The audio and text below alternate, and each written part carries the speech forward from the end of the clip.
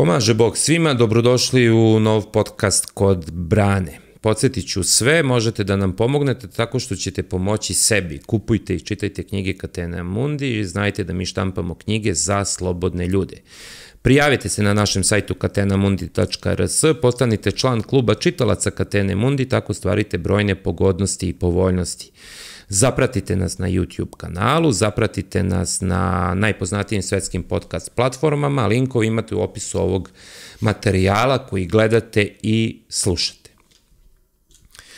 Moj današnji gost rođen je 1965. godine. Član je Udruženja književnika Srbije, napisao je nekoliko knjiga, e, Pre nekoliko godina objavio je knjigu Kultura i identitet pogled s desna, a Katena Mundi je imala tu čast i priliku da prošle godine, dakle 2020. objavi njegovu knjigu Zapad i okupacija. Vaš i moj današnji gost, Igor Ivanović. Igore, pomaže Bog i dobro mi došao. Bog vam pomogao. Hvala na pozivu.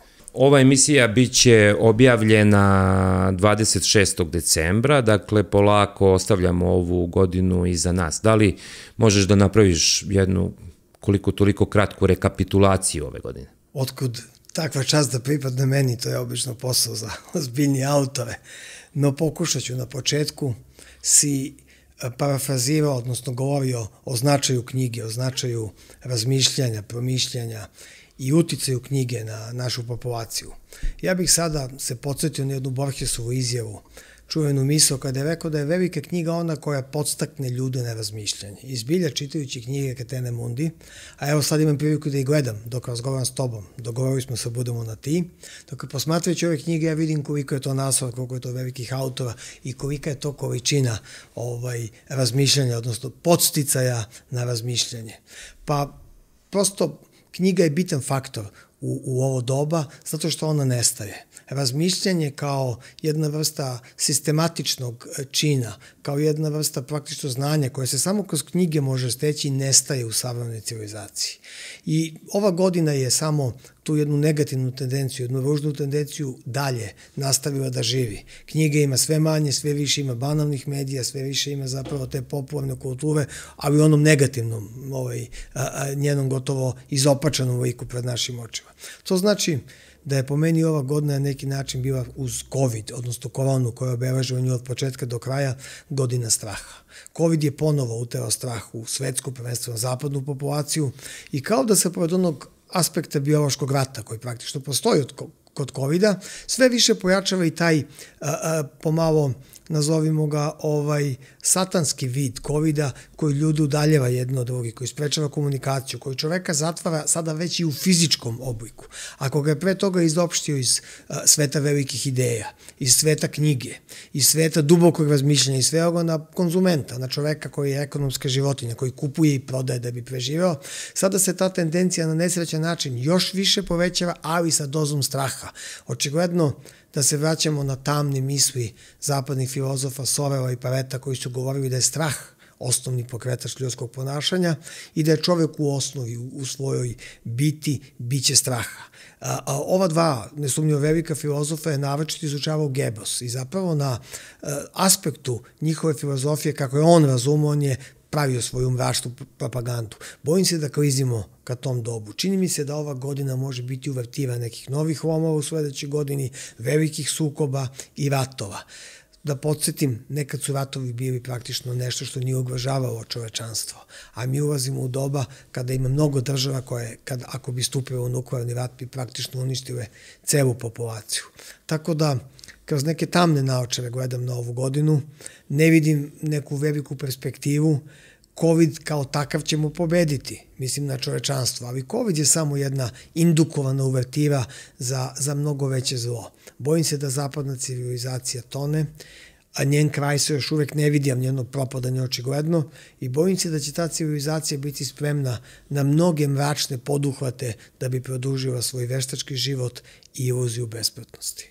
Igore, kao što rekog pre nekoliko godina objavio si knjigu Kultura i identitet, pogled s desnom. Pa hajde da uz ovo dobro domaće negotinsko vino, a nećemo preterivati pošto je božićni post u toku, e, da nam, ako možemo da krenemo od pojašnjenja, pojašnjavanja tih termina, šta je kultura i šta je identitet i kako izgleda pogled s desna na kulturu i identitet? Pa, kultura je termin koji ima veoma široku upotrebu. Naravno, svi znamo da kultura jeste nešto što čuva vrhunsku umetnost, što stvara ambijent za njeno očuvanje i za njen plasman. To su određene prateće institucije, bilo da je več o pozorištima, da je več o operi, baletu, izdavačima i tako dalje i tako dalje. Ali u knjizi koju si pomenuo, ja sam kulturu tretirao na jedan mnogo širi način. Praktično sam je na neki način delimično tretirao kao civilizaciju, a delimično kao suštinsko pitanje, pitanje identiteta. Opet moram da citiram Borgesa, jednom prilikom je rekao da ceo život čoveka stane u onaj trenutak kad shvati ko je i šta je. E, zapravo, to je identitetsko pitanje, osnovno, embrionalno pitanje svakog čoveka, svake zajednice, svakog naroda i tako dalje, pa sam ja na taj način tretirao, pokušavajući da tu kulturu prebacim u, u, jezik upotrebne vrednosti, naročito kroz tradiciju, običajnost, ali i popularnu kulturu, gde, na primjer, u anglosaksonaca vidimo koliko ta popularna kultura može biti profitabilna i koliko može zapravo da vrati poljuljeno poverenje jednoj imperiji i sa druge strane da, da proizvede vrlo opipljivu i veliku materijalnu korist.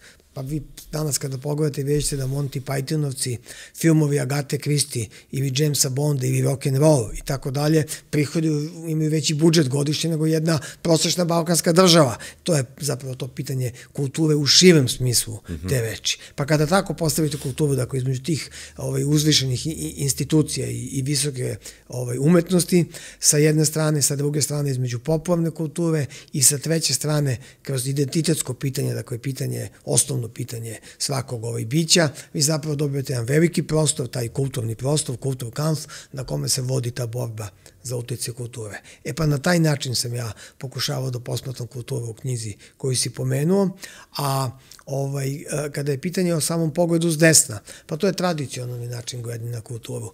E, znamo da stare političke podele iz levice i desnice više ne važe, ali filozofske pa samim tim i umetničke podele na levu i desnu ovaj, čovekovu hemisferu su i takako aktualne. Osnovna premisa svake desni misle je antropološki pesimizam. Dakle, čovek je neiskorenjivo nesavršeno biće i nikakva tehnologija, nikakav ekonomski i tehnološki napredak, niti pak promena društvenih odnosa po konzervativcima ne može promeniti prirodu čoveka. A priroda čoveka, pored svoje uzvišenosti, ima i svoj mrak, ima i zlu stranu. I zato su konzervativcima potrebne jake institucije, ozbiljni zakoni, jake države, da bi zapravo obuzdali a, to zlo u čoveku. Tu njegovu potrebu da povremeno bude destruktivan po svoju okolinu i po druge ljude. A ta vrsta pravila koja se postavlja pre čoveku, šta je to drugo nego Kantov kategorički imperativ? To su zapravo neka samo nametnuta ograničenja koje čine moralne norme. Sa druge strane, leva ideja smatra da e, nije osnovna komponenta čoveka njegova unutrašnja i mračna priroda, nego odnosi među ljudima. To je ta socijalna komponenta i da se promenom društvenih odnosa može promeniti čovek. I zato smo imali stanje revolucije, nasilno promene društvenih odnosa da bi se navodno tako promenio čovek. Mislim da su konzervativci bili u pravu, jer se svaka revolucija završila krvopravićem. Ponovo je pobedila mračna strana čoveka.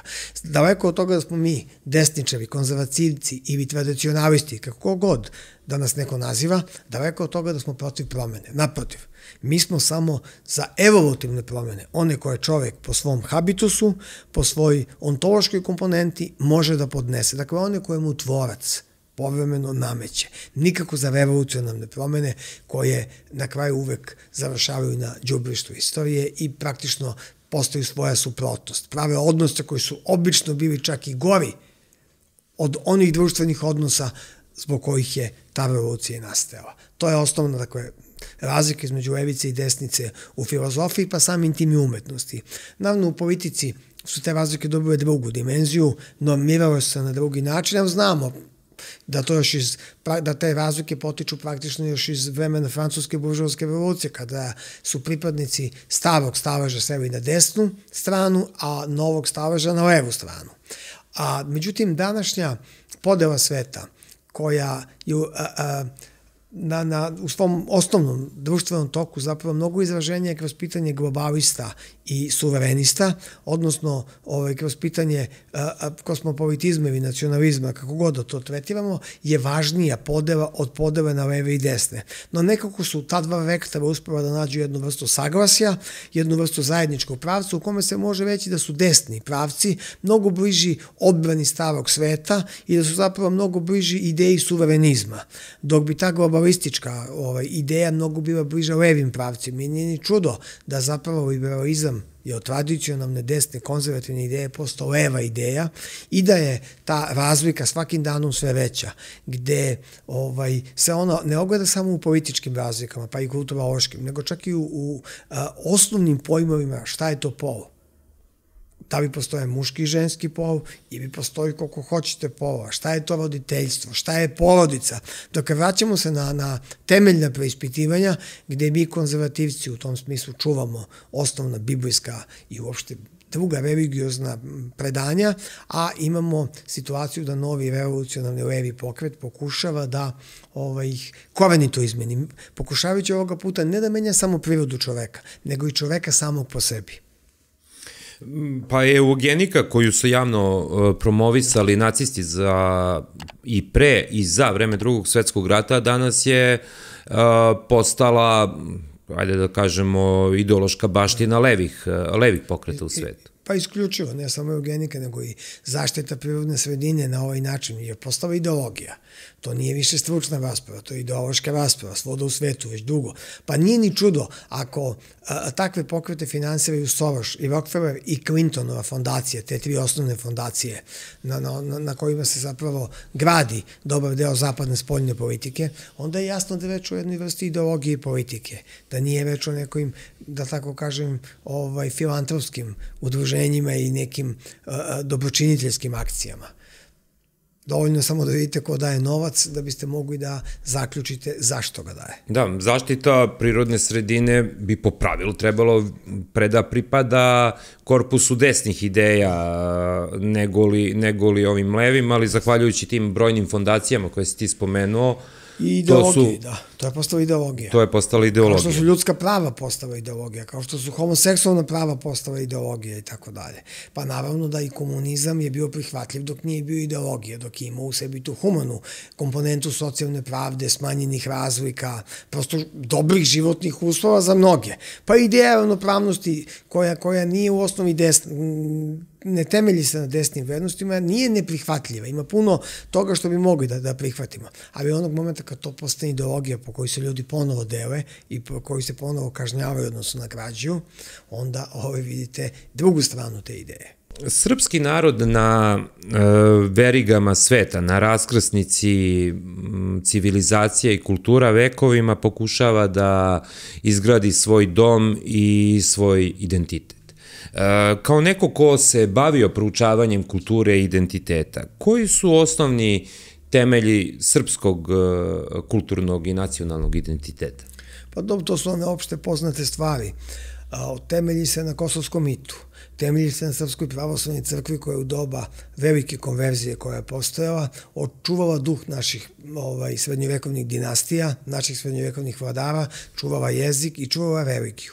Nema srpskog naroda bez praktično te pravoslavne komponente. To ne znači da Srbi ne mogu biti katolici. Ali kada pričamo o temeljnoj, osnovnoj vrednosti na kojima počeva ovaj srpstvo, onda je to bez sumnje pravoslavlje odatle se sad granuju mnoge druge grane. Neke su individualističke, kao što su pojedina vrhunska dostignuća naših velikih ljudi, još od Svetog Save, pa da ne nabrojemo dalje preko Tesle, Pupina, Andrića, Crnjanskog i tako dalje i tako dalje. Sa druge strane imamo jezik kao jako bitnu komponentu, imamo to ćirilično pismo, koje naše ćirilično pismo je jedinstveno u svetu zbog Vukovog pravila.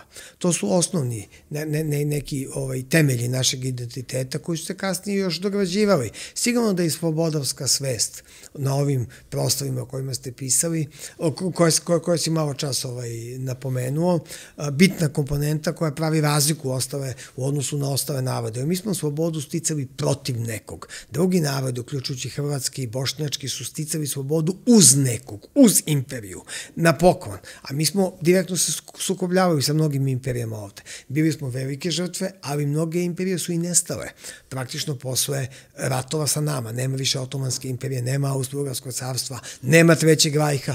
To su istorijske činjenice. Cena koju smo plaćali je ogromna na našu nesreću. Mislim u ljudstvu, biološkom materijalu i u spremnosti na patnju, koja je elementarna hrišćanska kategorija. Ali sa druge strane, najbolnije ishodište nije u tome jer mi hrišćani moramo biti spremni da nosimo sobstveni krst. Već u saznanju da se sve ove politike, svi ovi ratovi samo nastavljaju u, u, u političkom aspektu današnjeg modernog zapada kada je reč o srpskom narodu i srpskoj državi. Tu se na našu nesveću ništa nije promenilo. Te žrtve njih nisu navele da se zamisle i da nešto promene. Naprotiv, samo nastavljaju u rukavicama svoje stare ove strateške pravce protiv nas. U predgovoru knjige koja se ovde nalazi na stolu Zapad i okupacije kažeš da su tri ključna termina uh, generacija, Zapad i okupacija. Uh, kao što rekao, rođen si 1965. godine i spomenuo si da je tvoja generacija uh, živela u tri društvena i politička sistema. Koji su to bili sistemi, pa, koja je bila njihova sličnost i razlika? Zapravo mi smo praktično odrasli u, u tri sistema od kojih jedan sistem imao svoja dva dela. Prvi sistem u kome smo rođeni, u kome smo odrasli, to je zapravo titoizam. Nazovimo ga tako, to je socijalističko federativno uveđenje, ali najprecizniji termin bi bio titoizam. On je imao svoja dva ishodišta, svoja dva praktično poluvremena. Prvo, za brozovog života i ono kada se činilo da ta država ipak nekako može opstati, bar nama koji smo to posmatrali sa neke distance i drugo kada se već kako su godine prolazile, video da posle smrti Broza ta država ne može preživjeti. Taj termin smo zvali i posle Tita Tito, to je postitoizam. Onda drugi sistem u kome smo živjeli, to je u stvari a, zapravo sistem postkomunizam. Milošević, iako je potekao iz komunističke partije, iako je imao jako komunističko nasleđe u ideološkom smislu, pa i u samoj praksi u osnovi nije bio komunistički lider jer je dobio izbore. Ili je bar učestvovao na nekim izborima koji jesu bili ovaj, u formi demokratski. Druga je stvar u suštini iz razliku od Broza, čiji izbori su bili farsa, počevši od onih čoravi kutija, pa nadalje, delegatski sistem i da. Tako dalje. Ovaj, taj, taj postkomunizam ili ovaj slobizam je drugi sistem i treći sistem je sistem petooktobarske Srbije, ovaj koji dan danas važi, koji se po formi ne razlikuje mnogo od Miloševića, ali se razlikuje po nekim komponentama u odnosu na uh, odnos prema, prema toj ovaj, zapadnoj uh, uh, sili. Tako da ta tri sistema su imali puno međusobnih razlika, ali i temeljnih sličnosti. Temeljna sličnost da su u osnovi sva ta tri sistema ipak ateistički sistemi.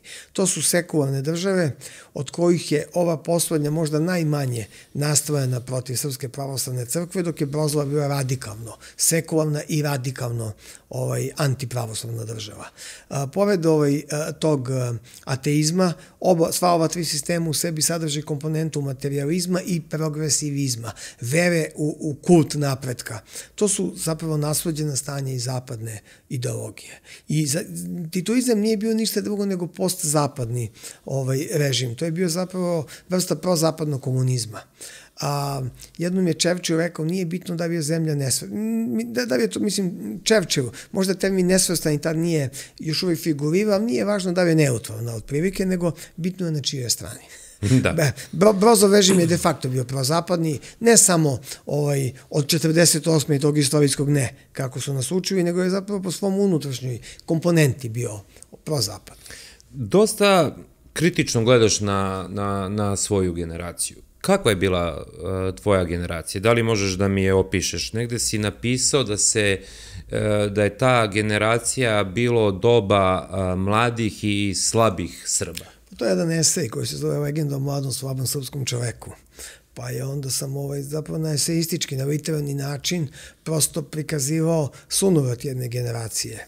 A, ja sam dakle rođen sredinom 60. godina i ta, za razliku od one generacije koja se pred rogavskim vatrama kreva svojim kardiovaskularnim potencijalom u Tita i ovaj, u ime svih nas 50 i neki, kako već ide ona pesma, ta komponenta kod nas je bila za nijansu slabija, ali sa druge strane nas je samo zapadni konzumerizam.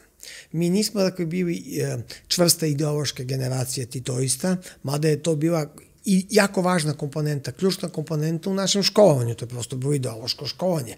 Jer od momenta kada uđete u školu, u učionicu, pa vidite titulu, odnosno brozovu sliku, pa kada otvorite čitanku, pa ga vidite na prvoj strani, pa nadalje, svud oko vas je Tito. Ali sa druge strane su zapravo te ideološke veze slabile.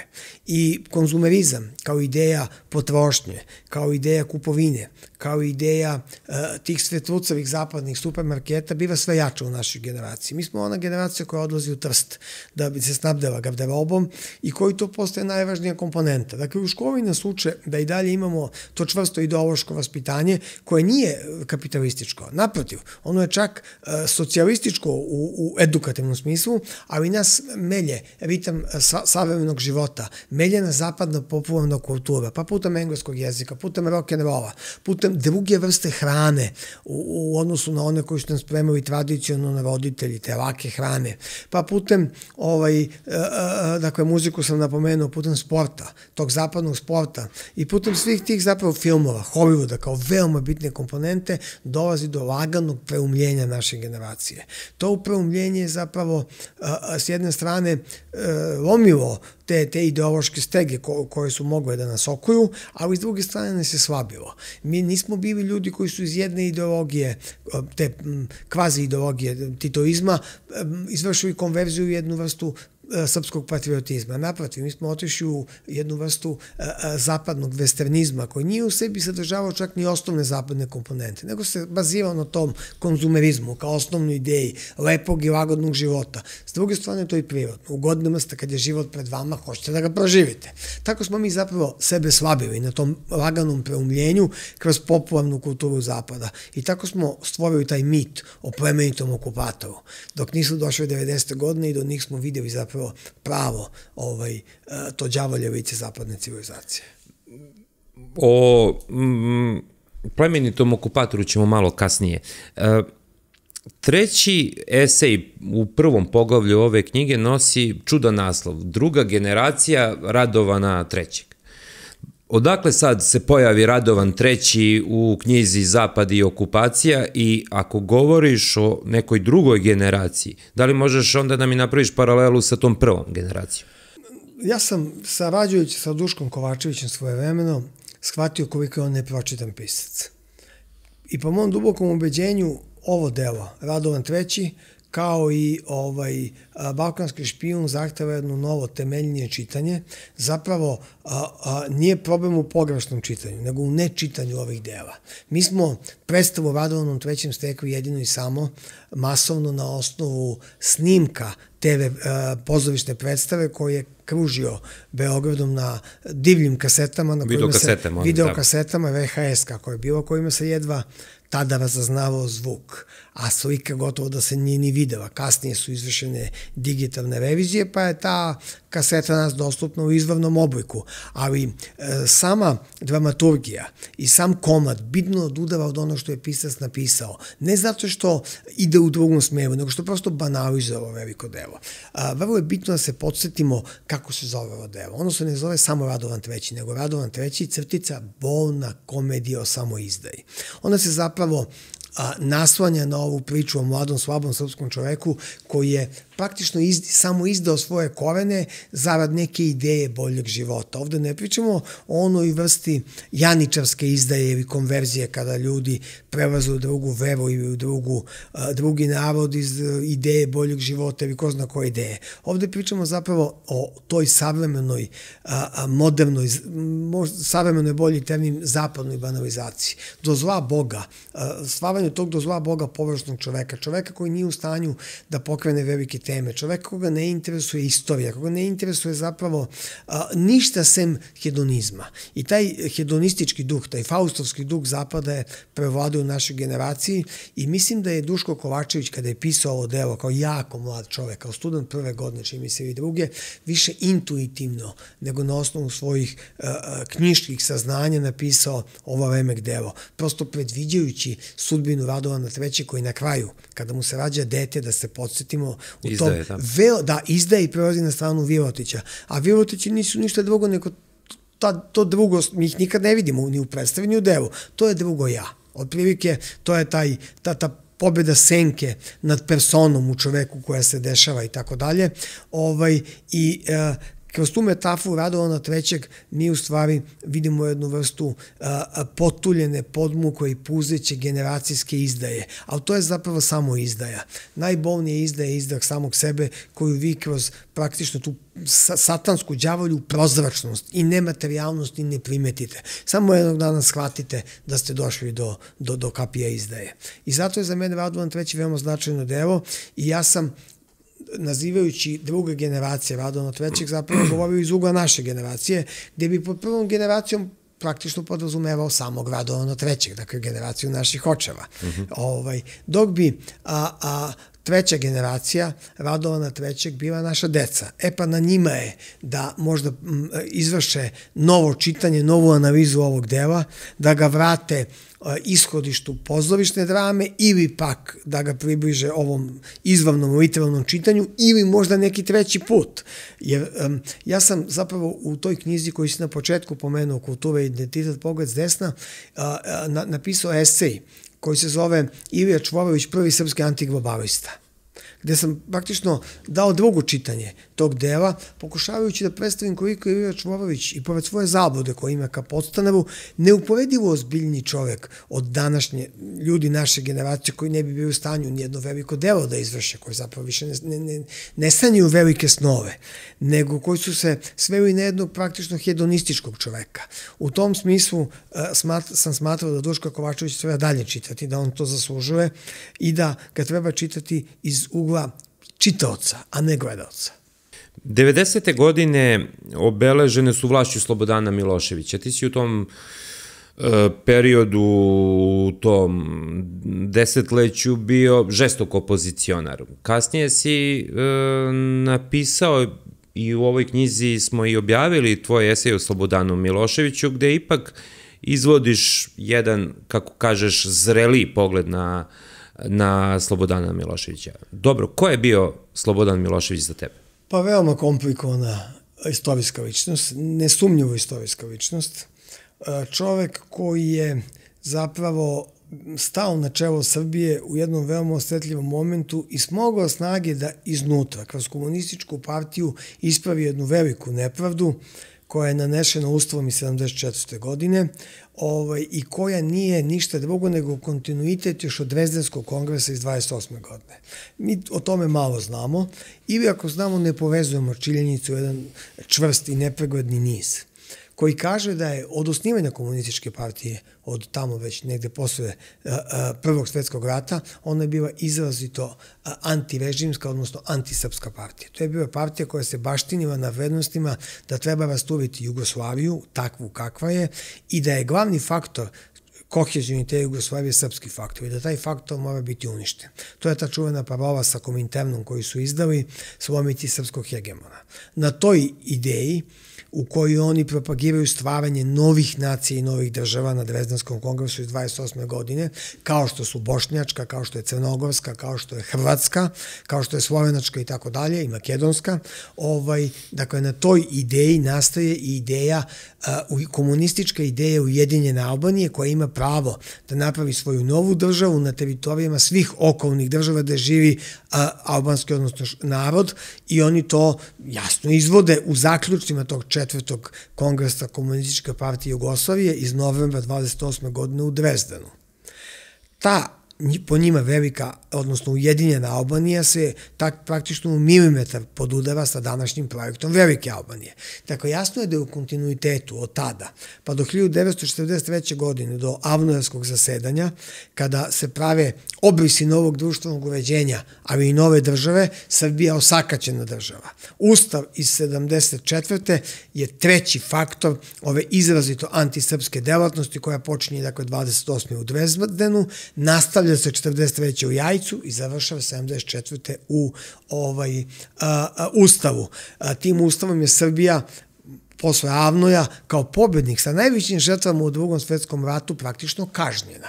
A Hrvatska kao izrazito genocidna država koja je napravila a, a, tu, tu kancerogenu tvorevinu, tu genocidnu tvorevinu NDH nagrađena izlaskom na more i dobijanjem teritorija od kojima nije mogla ni da sanja.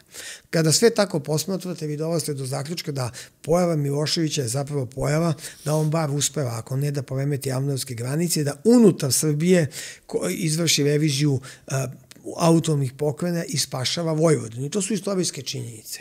E, Volovin je volio Miloševića, a ja ga nisam volio, sam iz praktično ravnogorske porodice, on je za meni bio i ostao čovjek petokrake, bio i ostao komunista. Ali sa te istorijske distance, kada posmatam njegovu ulogu, moram da priznam da, da je u svom delovanju Slobodan Milošević ima mnoge stvari koje su bile u prilog srpskom narodu i srpske države. Naravno ima i izdaja, ima i grešaka. Pitanje srpske krajine je e, mračna strana njegove istorijske biografije. Ali ono što je bitno... Ono što... Izdaja Srba u Slavoniji čitave, da, čitave da je, ovaj, a, a, a, kad kažem krajinu, mislim na, na, na, na, na praktično čitavu, čitav nacionalni srpski korpusu na prostavima ovaj, tadašnje Hrvatske, odnosno da ne kažem današnje, ih praktično i nema. Ali sa druge strane, ovaj, na tom zgusnutom prostoru Balkana, i u tom zgusnutom vremenu, kada su se stvari u desetak godina i 12-13 Miloševićeve vladavine odvijale kao kod drugih naroda u 50 godina, on je imao i pobeda i poraza. Veliki sam protivnik sagledavanja njega samo kroz e, e, crne i negativne naočare ili pak optuživanja Miloševića kao jedinog za ratove koji su nastali. Milošević je mogao da ne vodi te ratove i da prihvati javnovske granice. On je odbio da ih prihvati smatrajući da su te granice praktično granice ovaj koje važe samo unutar jedinstvene Jugoslavije. U tom momentu na strani antimiloševićevskih e, ideja a na strani zapravo naroda iz okruženja stupa Zapad. Pomoću famozne Badinterove komisije on Avnojevske granice proglašava zapravo državnim granicama, te republičke granice, a to isto ne važi deset godina kasnije kada hoće da ocepe Kosovo. Sada odjednom to pravilo ne važi. Dovoljno je samo ovo što sam sada napomenuo, ovo delovanje Zapada da vidite o kakvom neprijateljstvu je reč. Ne treba ništa manje. Sa druge strane, Milošević je pokušao da im se suprostavi, ali i da igra igre sa njima, kao i svi srpski vladari da lavira i nije pao na pitanju Kosova. On jeste vojno izgubio Kosovo, delimično ga je spasio tim kumanovskim sporazumom, ali nije kapitulirao. Ono što stoji to je da jeste izgubio deo naroda koji je otišao u inostranstvo, jeste sveo zemlju na jedan niži kulturni obrazac, imao je i, i jedna zva ekonomska vremena sa onom hiperinflacijom, ali kada sve saberete i oduzmete, ja sam se u ovom eseju izvinio Miloševiću za mržnju koju sam gajio ka njemu tih 10-12 godina, praktično čitavu deceniju i malo duže, shvatajući one njegove reči koje je rekao a, nakon svog pada u kameru kao reči velike istine, gotovo proročke. Nisu oni rušili Srbiju zbog Miloševića nego su rušili Miloševića zbog Srbije. Njima je meta bila Srbija. Tu istu bolnu i gorku istinu njegov naslednik Koštunica i njegov, da tako kažem, paralelni naslednik Đinđić su jako brzo shvatili. Đinđić je čak platio glavom. U tom zaokretu od prozapadnog političara koji je bio direktan njihov proizvod, pa do kasnijeg ogromnog razočaranja zapadom i pokušajem da se odbrani, Zoran Đinđić, taj nestašni dečko srpske političke scene, izgubio život. Platio je glavom. Ali kada pogledate intervju njegov poslednji koji su zapravo dveri najčešće publikovali i delile, koje je dao Banjevočkoj televiziji nekoliko dana pred atentat i njegovo, njegovo ubistvo, vi ćete vidjeti jedno ogromno razočarenje zapadom, jednu radikalnu srpsku politiku i zapravo jedno otvežnjenje. U tih poslednjih nekoliko meseci svoga života Zoran Đinđić prolazi katarzu pravu nacionalnu katarzu kada se odbio od taj zapravo demonski zid zapadne politike kada je video da je tretman njega ka zapada prema njemu isti ako ne i gori kao što je bio i tretman Miloševića. Uvek treba se podsjetiti da je prvi strani diplomata koji je po ubistvu Zorana Đinđića došao da izjavi saučešće Ružici Đinđić bio državni sekretar Sjedinjih američkih država Colin Powell. To je zanimljivo i uvek to treba imati u vidu kada... I kada... nakon toga su otišle duvanske industrije. Tako je, kako treba... koje Zoran ovaj... Đenić nije teo da da, shvatiš da je besmisleno da dajemo duvanske industrije koje su da. veoma... Igore, uh, spomenuo, ispričao si, uh, iznosi svoje mišljenje o Slobodanu, Slobodanu Miloševiću, delom si uh, i napravio jednu retrospektivu onog drugog E, drugog e, društvenog i političkog sistema u koje je tvoja generacija živela.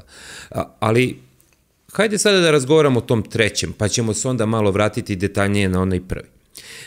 Šta je bio 5. oktobar? Da li su Srbi 5. oktobra uh, doživeli i dočekali dugo željenu slobodu ili je to u stvari bio početak neke nove svojevrsne okupacije? Vratit ćemo se desetak dana pre 5. oktobra, to je 24. september te iste godine. Tada je tiha, strpljiva, većinska Srbija stala u redove i praktično smenila svojim glasom, svojim glasačkim istićem režim Slobodana Miloševića koji je već postao nenarodni. Iako i dalje imao značajnu ovaj, podršku u narodu, to nije bio režim u tragovima. Imao je on svoju bazu koja je bila i dalje čvrsta. Kada je ta Srbija smenima Miloševića, jedna od njegovih najvećih grešaka je nepriznavanje narodne volje. Bilo je očigledno da je izgubio. Nije bitno u ovom momentu da li je Koštunica imao tih 50%. Jasno je bilo da je bio u pobedničkom ritmu i da je ta stvar, kada je već o istorijskim epohama završena. Milošević koji je mnoge stvari shvatio u životu, ovo nije shvatio i 5. oktober je proizvod njegove greške. Da je mirnim putem izvršio tranziciju vlasti, kao što i bilo za očekivati, a imao je pre toga priliku da vidi šta se dešava kod koalicije zajedno i lokalnih izbora u Beogradu kada je praktično kapitulirao, on bi sa tom mirnom tranzicijom drugačije mogao da oblikuje ne samo svoj život, nego i stvarnost ovaj, u našoj zemlji. 5. oktobar zapravo je jedna vrsta revolucije. Kada se a, tog dana narodna volja na nasilan način, a drugačije nije ni moglo, verifikuje, ali su išle sve prateće pojave revolucije. Išle su zapadne obroštene službe, išle je kriminal i praktično tog 5. oktobra je rođen, a, a, rođena jedna, kako da kažem, a, a, ne samo što je vođeno drugačije društveno uređenje, nego praktično vođeni su i neki procesi koje mi do tad nismo mogli da vidimo. Dote smo viđeli snagu države kod Miloševića. Čak i kada je padala, ona je bila jača od klanova, lobija i kriminala. Posle 5. oktobra mi uviđamo da vrlo često do današnjeg dana država može da bude slabija, slabija od sprege domaćih kriminalnih ovaj, klanova sa obaveštenim strukturama, prvenstveno zapadnih država. Do 5. oktobra taj utisak nismo imali. On za običnog čoveka nije bio vidljiv. Jedna od negativnih tendencija 5. oktobra je ta. Ali kada me pitate politički, da po, mi zapravo treba da govorimo o post 5. oktobarskoj Srbiji. Ja sam na kraju došao do zaključka da je to ipak, uz mnoge prednosti koje je 5. oktobar doneo, ali ipak bila okupacija. Danas kada sve saberete, vitalni parametri srpske pravoslavne, srpske ovaj, države, onako kako državu zamišljamo još od Hegera, još od Vestfalskog mira pa nadalje, zapravo kod nas ne postoje. Mi nemamo državne povuke, ne štampamo sobstveni novac, nemamo sobstvene banke, dakle nemamo monetarnu politiku, nemamo skupštinu, jer zakone usvajamo po inerciji na odnosu one što nam iz Brisela donesu, a mi ih kako tako prevedemo, pa ih usvajamo bez ikakve želje da se i primene, a kamo da ih protumačimo dublje i tako dalje. Dakle, nemamo ni skupštinu. Skupština je postala skupština lokalnog parlamenta. Samim tim ni izbori nisu više možda toliko važni. Pristali smo u doba ovaj, tih post oktober, pet oktobarskih snaga da bitno osakatimo srpsku vojsku i da dobar deo naoružanja i kadrova rasparčamo, oteramo. Pristali smo da i mediji pređu u privatne ruke, a znamo da je zvaničan podatak da 98,9% svetskih medija, kada pričamo o zapadu, je u, u grupaciji par korporacija koja se nalazi u rukama dve, tri porodice na zapadu. Dakle, tu nema govora o slobodi. I pričamo o monopolu koji se stiče ošvađenjem, govori od bilo koje monarhije. Francuska revolucija je nastala kao ideja rušenja zapravo ubuđave monarhije. A danas imamo jednu govu, imamo bankarsko-finansijsku oligarhiju koja vlada svetom u par porodica, u par korporacije koje drže sve moguće, sve vodeće te medijske kuće. Dakle, mi više nemamo ni medije posle 5. oktobra. Šta mi imamo? Mi imamo taj privid. Imamo stalno tu iluziju života, taj privod neke slobode demokratije, ali čemu služe knjige nego da ga razbiju. I zato je knjiga postala veliki neprijatelj post 5. oktobarske Srbije. Zato je treba uništiti Ninovu nagradu. Svesti je na Burazarsku nagradu par ljudi koji deva jedni drugima po političkom ključu. Zato je treba uništiti i NIN, onaj NIN koji je bio praktično jedna vrsta, da tako kažem, intelektualnog panteona ovaj, srpskog da, Sloba Reljić uređivao da, tih poslednjih godina. kada ste vi imali i leve i desne ideje, bilo je tamo kvalitetnih autora. Nije bitna ideologija. Ne bih ništa imao protiv ni liberalne ideologije i leve, ako bi mi dala kvalitet. A ako mi da ovo što mi danas daje, ovakva tumačenja, ovaj, onda prosto čovek beži od ovakve javnosti. Terorizam mu postaje veliki neprijatelj. Može da prati sport i tako dalje. Hoću da vam kažem da je 5. oktobar donao jednu opštu banalizaciju života i donao je a, a, praktično jednu mogu da kažem, meku, umerenu okupaciju.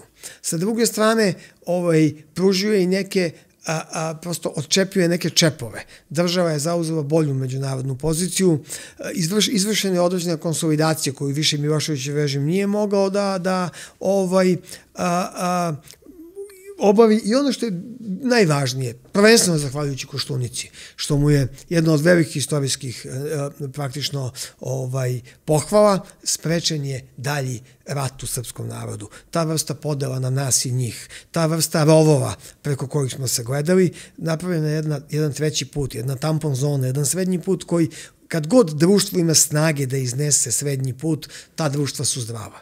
Kada su društva polarisana? Kao što je recimo sad američko društvo. Ta društva pre ili kasnije ovaj, će iz a, a, faze a, ovaj, eklatantne, a, ali pasivne mržnje preći u oružanu mržnju. Tako da, mogu da kažem, tako sam i nazvao Zuboto sunce 5. oktobra. Nešto je dono, mnogo toga je oduzeo. Više bi volao da su sve one institucije bilo da je već o medijskim, bankarskim, državnim, ostave u rukama srpskog naroda, pa makar i to, na, to, u totalitarističkom režimu, ali da ostanu naše. Mi smo ih sve trajno za male pare, bagatelno praktično prodali i one nam sada kreiraju stvarnost. Postavio sam ti pitanje da li je 5. oktobra srpski narod dočekao slobodu ili ušao u svojevrsnu okupaciju. Da se vratimo nekoliko decenije u prošlost, a postavit ću ti da. isto to pitanje. Da li je naš prestoni grad Beograd oktobra 1944. godine e, kada u prestonicu e, ulaze sovjetski tenkovi i sa njima Tito i sa svojim partizanima, da li je taj dan bio e, oslobođenje grada Beograda i Beograđana ili je to bio početak nove svojevrsne okupacije? Pa, kao odgovor na to pitanje, navešću jednu anegdotu koju sam igrom slučaja ja učestvovao, pa sad možda nije baš ovaj, a, vaspitano da govorim o sebi, ali prosto mi je metafora na prvu optu iskrsla i smatram da bi kroz ovu priču mogo najbolje da odgovorim. Jednom su me pitali u, u nekoj od ovih internet televizija, a, gde jedino i učestvujem, koja je bila osnovna razlika između prosečnog člana DSS-a, dakle, Koštuničinog i DS-a, Đinđićevog i Tadićeg, Tadićevog. I ovaj, u ideološkom smislu, naravno. Gde, gde je bila ta distinkcija, ovaj, a da se to kaže jezikom aforizma u jednoj rečenici. Pa rekao sam da je za prosečnog DSS-ovca poslednji normalan srpski dan bio dan pre bombardovanja Beograda 41. Od tada ga više nema. Dok bi za prosječnog DS-ovca, da ne kažem žutog, jer to ima pežorativnu konotaciju, prosječan, poslednji, dobar, prosječan dan bio dan pre osme sednice. E pa tu je ta razlika. Ako gledate iz ugla ove žute Srbije, za njih je ta e, zakasnela postitoistička era, e, te zlatne 80. je bilo doba Perikovog doba demokratije. Za nas, konzervativce, da kažem, bivše DSS-ovce, mislim iz tog koštuničnog vremena, zapravo to je bila ipak okupacija. I pored toga što su otrani nemački vojnici, pored toga što su ginuli crvenoarmejci, ali došlo je do masovnog streljanja srpskog naroda u Visićem potoku na teritoriji našeg grada i to nije bilo jedino mesto streljanja, o tome govori sjajne knjige koji si ti Brano štampo, ovaj, Ozna, represija komunističkog režima u Srbiji koji su napisali ovaj, Cvetković i Dević. To je sa jasnim dokazima, gde jedan od glavnih egzekutora Majer Trešnić govori o tome i to više, sad je to istorijski, ovaj, istorijska ovaj, faktografija, više ne možemo pričati o tome kao uh, o deskriptivnoj komponenti. Zatim, pored tih stvari imamo masivno oduzimanje imovine, masovno, masovne progone, ljudima se oduzimaju firme. Mi imamo praktično promenu čitavog srpskog uh, ovaj, bića, unutrašnjeg, ali i spoljne stvarnosti. Koje su posledice komunističke, poluvekovne vreme komunističke vlasti u Srbiji? Pa mi možemo da pričamo iz interesa srpskog naroda. Kada pričamo o Srbiji, to imamo i druge narode. Ja mogu da budem neka vrsta manje više uspešnog ili neuspešnog portparova srpskih interesa. To me interesuje, time se bavim. U krajnjem slučaju ja sam srbin pravoslavne tradicije, vere i orijentacije i ovaj, iz tog ugla mogu da kažem. Iz tog ugla titoizam je kancer. Na ovoj teritoriji nije postojala gora okupacija i ono što bi rekao profesor Lompar, njega ću govoriti, ja citiram sada, a nadam se više puta, od Nemanjića do Pamtiveka najgore je brozovo doba. Iz ugla srpskog stanovišta, iz ugla drugog naroda, za koga mi vrlo često mislimo da je srpski narod koji živi zajedno sa nama na našoj teritoriji, a nije. To je takozvan jugotitoistički narod, iako sebe tako nije krstio, to je bilo zlatno doba. Za njih je titoizam zlatno doba, jer su oni bili jedna vrsta zapravo ljudi, posebno kova, što bi rekao njihov ideološki preteča Stalin, ovaj, imali su a, a, ulogu više kaste. Kao takvi su vladali, kao takvi dan danas pokrivaju veliki deo medijskog prostora. Ima ih mnogo I privrednog manje, prostora. I, ima ih mnogo manje u samom navodu, ali ih ima na istaknutim mestima. Oni bi bila neka vrsta praktično kriptoelite koja i dalje vrši okupaciju Srbije. Oni su za sebe nikad ne bi rekli da su jugati. To isti, mnogi od njih čak i kažu ponekad da su Srbi, ali uglavnom su oni građani, uglavnom se kriju, a, a, a ne, ne govore svoju nacionalnu odrednicu, što smatram da je neučtivo. Jer kada govorimo o nekim velikim temama, važnim temama, vrlo je bitno iz kog ugla govorite. Pa ne mogu ja iz neutralnog ugla da govorim o Kosovu. Ili o prvom i drugom svetskom ratu gde su moji preci dali živote. Pa ko sam ja da pričam iz neutralnog ugla? Pa ne mogu ja da pričam na isti način o kosovskom boju kao o Mohačkoj bitki ili o sukobima između, recimo, švedskih vitera i, i, i ruskog plemstva. Najvažnije, iz, ja pričam iz, iz srpskog pravoslavnog ugla. Iz tog ugla imam pravo na predrasude, imam pravo da budem pristrasan kada govorimo o jugotitoistima, ne, ne kažem jugoslovenima, jer ideja jugoslovenstva nije bila negativna ideja, imala je puno pozitivnih uh, pretpostavki, ali... Imam ideju integralno jugoslovenstva. Jest, ali je imala u samoj praksi mnogo promašaja. Ali jedno je jugomonarhistička ideja, a drugo je jugokomunistička, da budem precizniji, jugotitoistička ideja. Spominješ da je titoizam zapadna varijanta komunizma. Hajde da malo to razjasnimo našim gledocima i slušalcima. Koja je razlika između klasičnog komunizma sa jedne i titoizma sa druge strane? Razlika je u tome što je u tom političkom smislu Broz kao veoma vešt političar, što mu se mora priznati, prešao na zapadnu stranu u ratu odlaskom u Napulj da se vidi sa Čevčevom. I tajnom posetom papi Piju 12. najkrvavijem, jednom od najmračnijih papa u dugačkoj mračnoj istoriji ovaj, poglavarima katoličke crkve. Kasnije je Broz praktično napravio jednu vrstu sporazuma sa Zapadom, gde vidimo iz raznih istorijskih knjiga, recimo vidimo kod Smilja Vramo, vidimo kod Ekmečića, gde je on trebao da bude nevidljivo, ali produženo krivo NATO pakta u odbrani dole do te Vardarske doline. Broz je imao zapadne garancije da Rusi, odnosno Sovjeti, da budem precizniji, molim vas, pogrešio sam, neće ući na teritoriju tadašnje Jugoslavije i otud, da bi bio ta tampon zona između uh, praktično komunističkog, radikalno komunističkog i liberalnog zapada, on je dobio novac od zapada.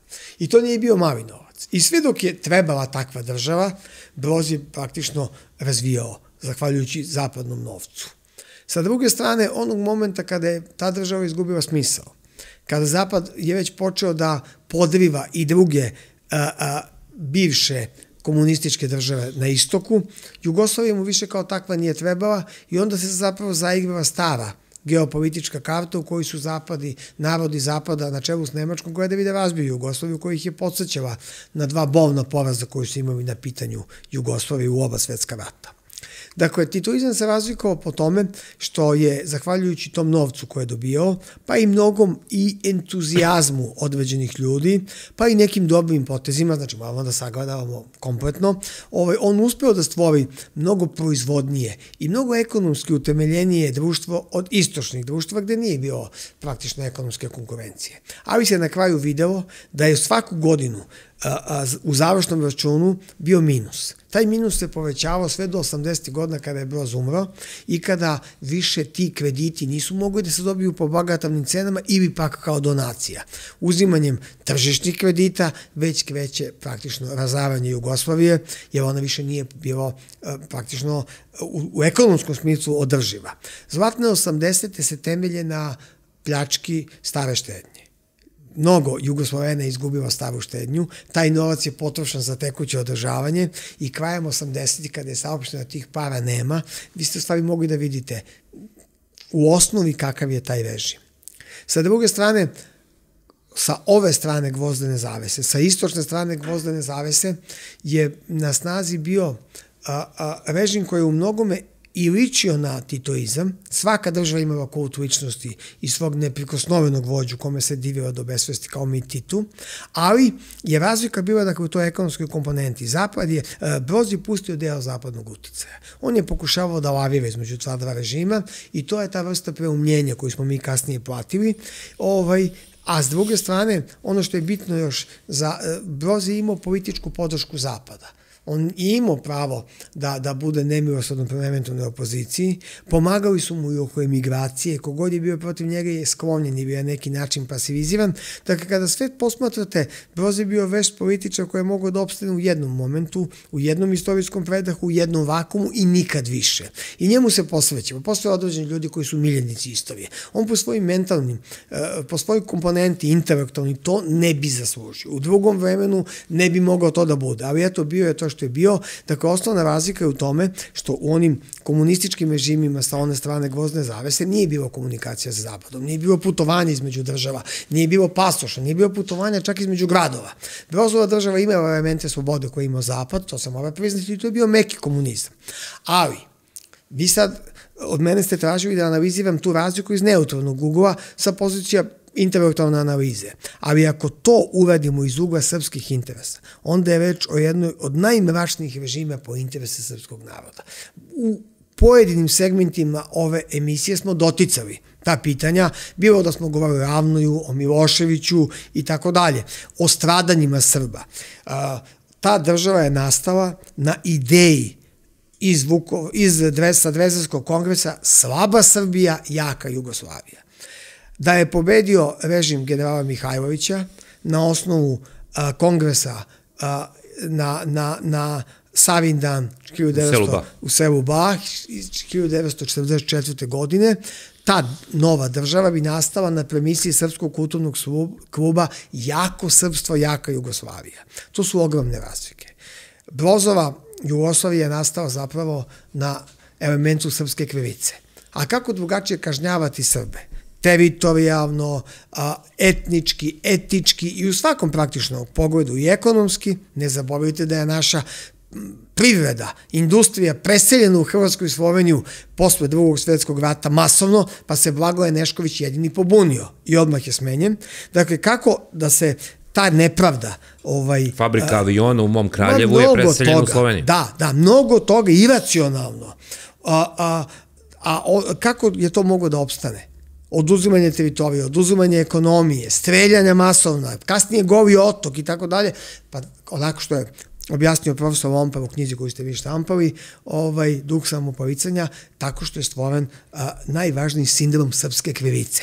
Vi ste morali permanentno da budete krivi. To je preduslov svakog jugotitoizma. Srbija je kriva i Srbija mora biti kažnjena. Naša je nesreća, što tu istu politiku je kasnije prihvatio od Kominterne Zapad, i danas anglosaksonski, taj angloatlantski zapad, na tom sindromu je pravio hašku istoriju, tumačenje sukoba iz 90. godina, pa u krajnjem slučaju na na tom praktično, na toj agendi on gradi današnji narativ prema Srbima.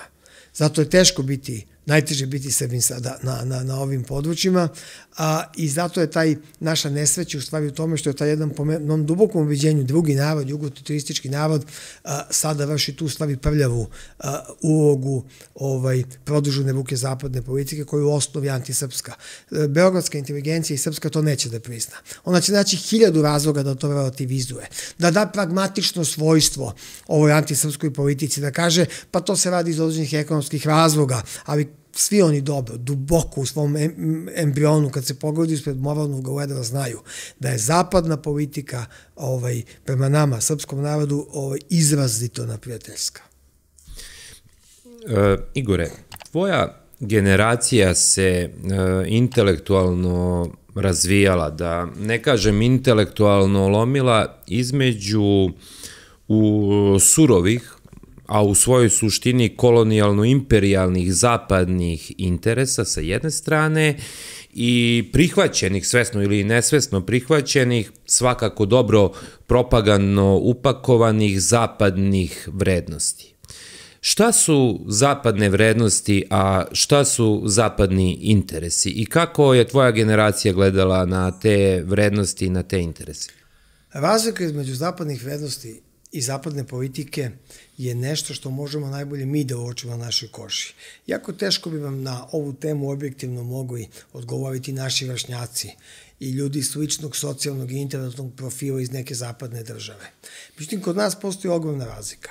Zapadni politički interes su, tra, su tradicionalni, ali sa druge strane mora da podsjetim da smo mi pravoslavna država, a da protiv nas i dalje ovaj, vlada mržnje iz velike šizme. Koliko god da se čini da je zapadni čovek hladan čovek, čovek manjeg intenziteta emocija, proračunat čovek, odgovorno tvrdim da posle hiljadu godina takve politike su kod njega praktično stvorene jedne negativne emocije koje dan danas vladaju i dugo će vladati prema pravoslavnom svetu. Navrčito prema pravoslavnom sovjetskom, e, slovenskom, a prvenstveno prema onom koje je za njih praktično proruski prostor. Šta god to značilo i šta god to bilo. U tom smislu a, mi smo zapravo jedna vrsta zamovčića zapadne politike. Ne treba vam veliko istorijsko znanje, ne treba vam nikakva pretrana pamet, dovoljno je samo da se prisetite šta se sve sa nama dešavalo u posljednjih 15-20 godina. A evo, pogledajte primjer Haga. Hag je bio izrazito neprijateljski ovaj, orijentisan prema Srbima. Jasno je da je reč o, o, o ovaj, naručenim suđenjima, o suđenjima I političkom političkim, sudu, da. ideološkim suđenjima, u kome su Srbi dobili uh, više robije nego svi zločinci politički istoriji Zapada, a u kome su ostali narodi dobili manje nego bilo koji kriminalni klan. Samo pogledajte narativ Zapada falsifikovan prema Račku, koji je čist falsifikat, prema ulici Vase Miskina, prema Markave pijaci. Pogledajte prema Srebrenici, gde se već pokazuje istorijski falsifikat, ali i klasifikacija. Kada kažemo o istorijskom falsifikatu, mislim samo na broj žrtava, ne mislim na samu suštinu događaja. A i sama klasifikacija, kada se menja definicija genocida zbog srpskog naroda, Pazite, to su već krupni prekršaj. Jedini narod koji je bombardovan, ne samo ovde, nego i u Republici Srpskoj, je srpski narod. Jedini narod ka kome su sprovedene izuzetno neprijateljske sankcije smo mi. Iz razloga koji su praktično namešteni, malo čas sam nabrojao te razloge. Jedina situacija, jedni narod koji je protran sa svojih ognjišta posle drugom svetskog rata, a, u, u, u, ovaj etničkom čišćenju je srpski narod iz Hrvatske. Ta, ta klasifikacija ne postoji na zapadu. Za nagradu je Hrvatska postala člana Evropske unije. Pogledajte, evo, ja sam već nabrao nekoliko izrazito neprijateljskih, ovaj, kako se zove, a, istorijskih a, događaja ili procesa od strane Zapada prema srpskom narodu. Možemo još da nabramo. Pitanje Kosova, pitanje te Badniderove komisije, koja ne važi za pitanje za, za, za Kosova, od, otimanje Kosova, nemogućnost a, a, da se na bilo koji način nađe kompromis koji je bio realan oko Kosova. Srbija je bila spremna, pa ja znam da je Koštunić Vučićin zahtev u Beču bio, ljudi, pa mi ne tražimo ništa, samo nek se zove Srbija, nek bude neke vojske na granicama, nek to ostane u sastavu Srbije, neka budu veće prave od finskih holandskih ostave, od Hong Konga, neka bude i veće prave od auto Aldiđa u, u severnoj Italiji, sve su mogli da biraju, Zapad nije hteo da čuje. Kasnije vidimo da je, imamo stenograme, da je Milan Milutinović na kraju ponudio da uđemo u NATO pak, da damo trepču za jedan evro, da naprave ba, za jedan dolar, da naprave базу, како се зове на Косово, само да Косово остане у Србија. Тоа е многу више него што имају сада. Не, био е резолутни одговор. Медвен одбрајт. Хочу да вам кажем, ako vi verujemo da su to plemeniti ljudi koji stvarno imaju e, politiku koji nema elemenata mržnje ka Srbima, duboko se varamo. Reč je o patološkoj slepoj mržnji. Mogu dalje da vam napravim sve nepravde koje nam je Zapad nanosio samo u onom periodu koji mi pamtimo, na našem ovo iskustvo od krvi i mesta, na našoj koži. A kada bi krenuli dublje kroz istoriju, pa Zapad nam je donao broza Zapad nam je doneo uh, savezničko bombardovanje iz 44. koje je nemilosrdno. Kada su bombardovi obeleženo, ovaj, a, kako se zove, a, u Zvečanskoj ulici e, kod današnjeg partizanovog stadiona, to je bilo za nezbivnutu decu, ovaj, dom. I dan danas je to uh, u Zvečanskoj dom za decu, on je bio obeležen. Obeleženo je bilo porodilište, tad je bilo u Krunskoj ulici sa velikim krstom, crvenim krstom, oni su i to bombardovali. Da ne kažemo da su slavnili sa zemljom 40 gradova. To savezničko bombardovanje nije bilo samo bombardovanje Beograda. Pod, pod diktatom i uz pomoć Koče Popovića koja je crtao ciljeve, nestao je Leskovac. Ne, nije ga bilo. Srpski Manchester, uh, najveći tekstilni centar na Balkanu. Je. Jedna fabrika nije preživala. Sve je tu reži zapada. Nemačko bombardovanje, pa to je isto zapad. Pa ne, nisu Nemci narod koji je došao sa planete Melmak. Došli su sa zapada. Dakle, u tom istom ratu smo dva puta svinski bombardovani. Jasenovac nastaje uz zapadnu podršku, uz nemačku podršku a, Pacovski kanali, kada se najveći zlikovci iz NDH, uključujući Ante Pavelića, preko Italije, prvo preko Austrije, pa zatim Italije, pa onda preko Dženove brodovima uz pomoć Krunoslava Draganovića i Dominika Petranovića vode u Latinsku Ameriku, pa to sprovodi engleska obaveštena služba. To nije sporno. To je, postoje sada ti pacovski kanali kao istorijski do, do, dokument i tako dalje i tako dalje. To su to je zapravo zapadna politika ka nama. Zapadne vrednosti mogu biti nešto drugo, ali ajde da ih tumačimo filozofski. Ajde vidimo prvo šta su zapadne vrednosti. Od onoga što bih pohvalio, citirao bih Bodrijara, koja je rekao zapadna civilizacija je stekla izvesnu prednost u odnosu na druge, zahvaljujući sledećim osobenostima. Individualizmu i raznovrsnosti, sveobuhvatnosti. Zapad jeste najšira lepeza vrednosti, odnosno događanja i sa druge strane jeste izrazito individualistička civilizacija za razliku od nekih kolektivističkih navačito istočnih civilizacija. Ali u isto vreme, taj zapad koji razvio i tehnologiju je praktično tvorac genocida. Zapad je načinio najveći pomor stanovništva i najveće zločine koje postoje u modernoj civilizaciji, odnosno zapadne države. To da li se one među sobom sukobljavaju, to, to je, nije ni bitno. U krajnjem slučaju nosioc evropske ideje. Nije ovaj, engleska, ona je izašla iz evropskog, nije ni francuska, nego Hitlerova Nemačka. Svaki njen progres je bio Evropa, Evropa, Evropa. Oni su govorili o Evropi u ideološkom smislu. Sa druge strane, Zapad je razvio i taj uh, animalni, vulgarni, primitivni materializam, kult novca, To je civilizacija koja je ubila neke duhovne vrednosti. Novac ne smrdi, to je njihova izreka. Ona, oni sebe stavno temelje sa antičkim vrednostima sa kojim imaju jako malo sličnosti. Sa rimskim carstvom mogu imati, sa antičkom Grčkom gotovo ni malo. Antička Grčka je bila delimično vojnička država, ali velikim delom je bila filozofska država, velikim delom je bila umetnička država. Bila je zapravo država u kojoj je duh carovo, podjednako kao i telo. Zapad je materijalno društvo To društvo kao takvo je rodilo određene materijalne vrednosti i dostignuća. To se mora priznati u infrastrukturi, u arhitekturi, ali je stvorilo i tog slabog čoveka. Stvorilo je čoveka koji je ekonomska životinja, koji je čovek supermarketa, stvorilo je čoveka koji je zapravo konzument i ništa više. Ono je u stvari, kao u velikom inkvizitoru, tom genijalnom umetku kod Dostojevskog, igralo sa čovekovim slabostima. Ono, zapad je davno prestao da veruje u carstvo nebesko i nudio je samo carstvo zemaljsko. I on je vodio materijalnog čoveka, vodio je hedonistu. I nekadašnji zapadni asketizam je nestao. Danas je zapad društvo hedonizma. Veliko je pitanje da li će zapad uspeti da preživi tako što će svoju sadašnju ideologiju hedonizma da konvertuje u neki novi asketizam, a da to ne bude preko islama. Šta podrazumevaš pod plemenitim okupatorom i mekom okupacijom, a šta pod terminom samokolonizacija?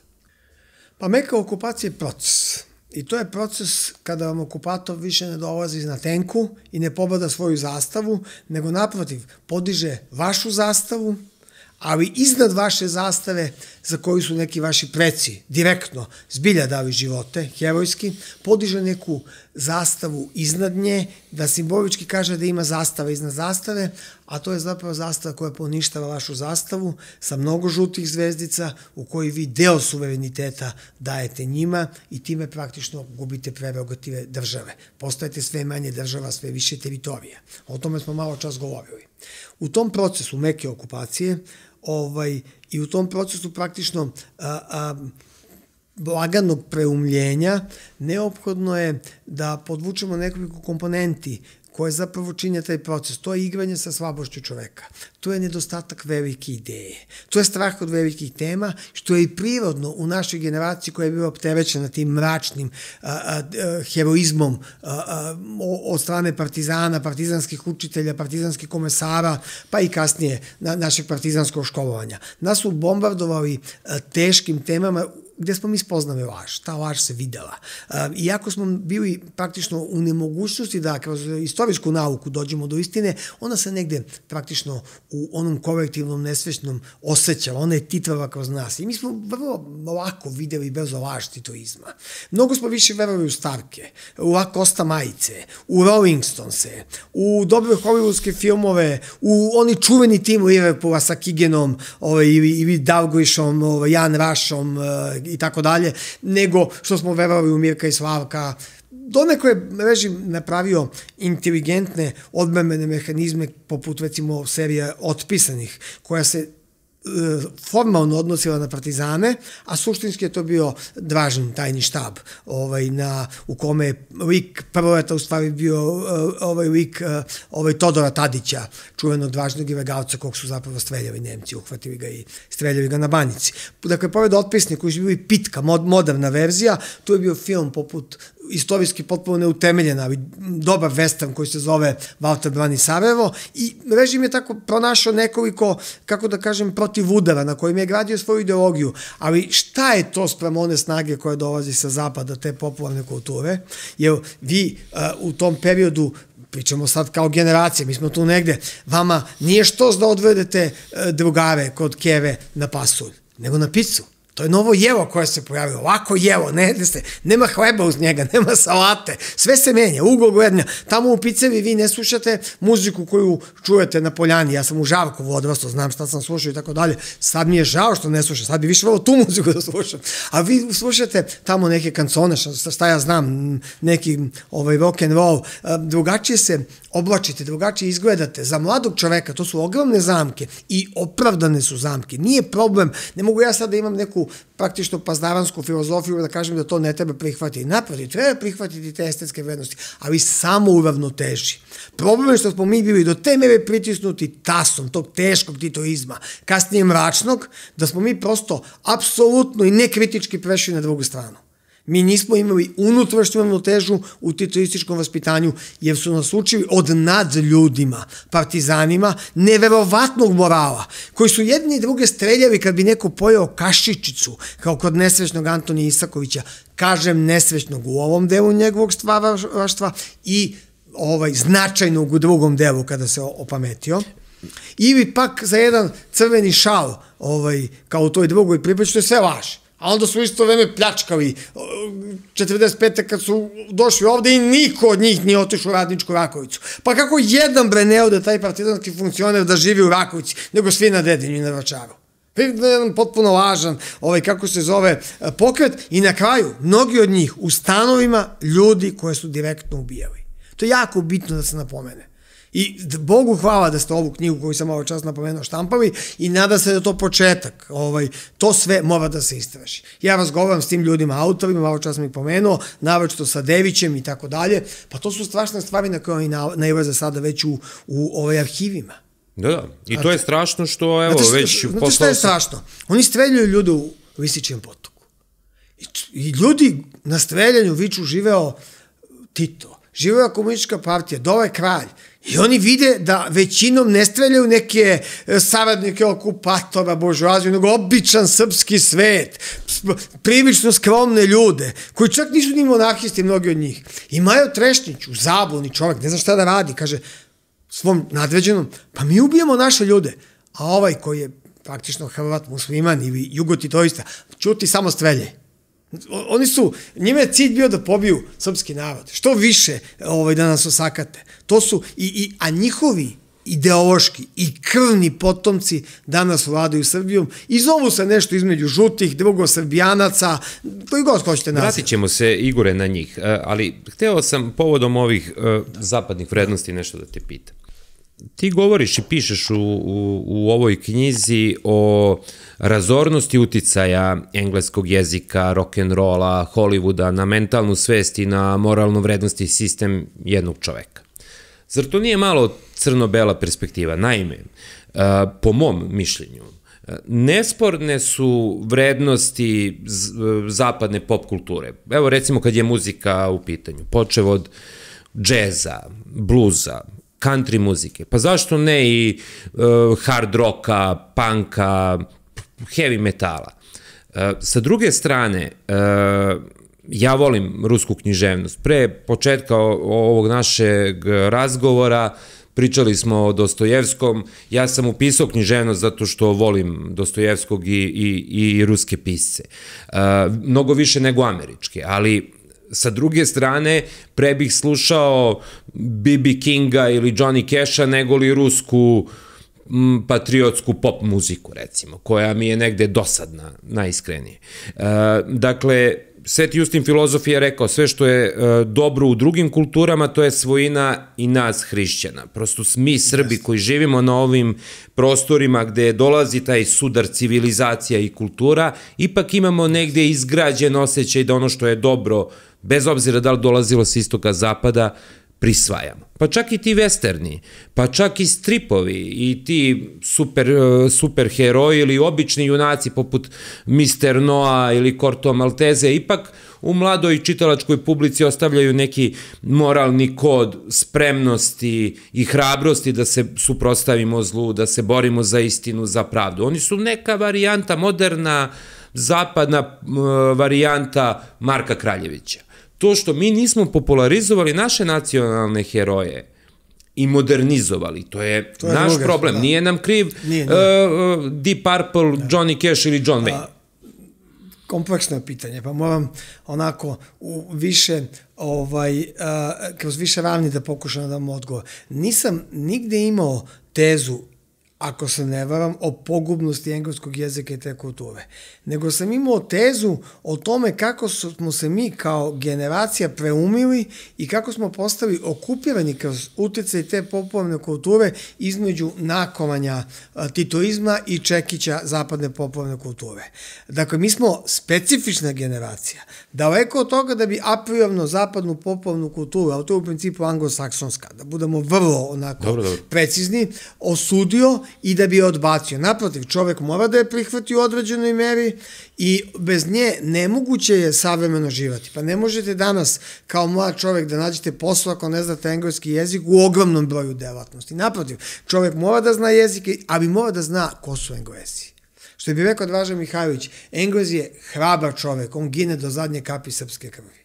Ne znam ko je drugi rekao, sad sam zaboravio trenutno, prostite, učite decu da mrze Engleze, neko od velikih Srba, ovaj, razočaran u englesku spoljnu politiku. Moramo da znamo da su nam oni tradicionalni neprijatelji koji praktično nekoliko vekova favorizuju i veštački održavaju bolesnika sa Bosfora protiv ruskih, čitajte, srpskih interesa.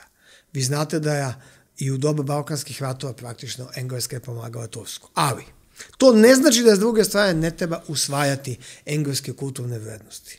Naročito te u popovnoj kulturi, jer anglosaksonske kulturne vrednosti su, to je sad moja teza, kulturne vrednosti niže grede u odnosu na ostale evropske narode i na ruske, ali su u trgovačkom smislu, a trgovačko shvatite široko, mnogo prijemčljivije. Oni su ljudi koji su uspeli da naprave rock and roll, praktično sa najslabijom bazom svoje etno muzike. Nemaju ništa. Kada uporedite sa italijanskom, portugalskom, kada uporedite sa španskom muzikom, francuskim kanconama, pa to je treća kategorija. A onda su putem izuzetne inteligencije i veštine i tog trgovačkog duha, to je sofisticiranosti u, u javnom nastupu, napravili imperiju. I danas rock and roll je najslabija muzika koja se pojavila. Ja znam da su mnoge generacije odnose na tome, ali morate da shvatite, to je laž. To je priča o nekom puritanističkom moralu i generacijama koje se bune protiv njega, da bi već u sledećem koraku sve ušle u taj mehanizam masa puta broj komada i gde je pobuna njihova zapravo postala prazno slovo na papiru. Drugo je punk. Punk je velika muzika, bio i ostao. Rock and roll je fora. O, mislim, to sam spreman da branim, o tome sam pisao, ali nije to tema. I jedno i drugo je došlo sa zapada i skidan kapu veštini anglosaksonaca da to, od, od toga naprave svetski utjec. Pogledajte zapravo hollywoodski film.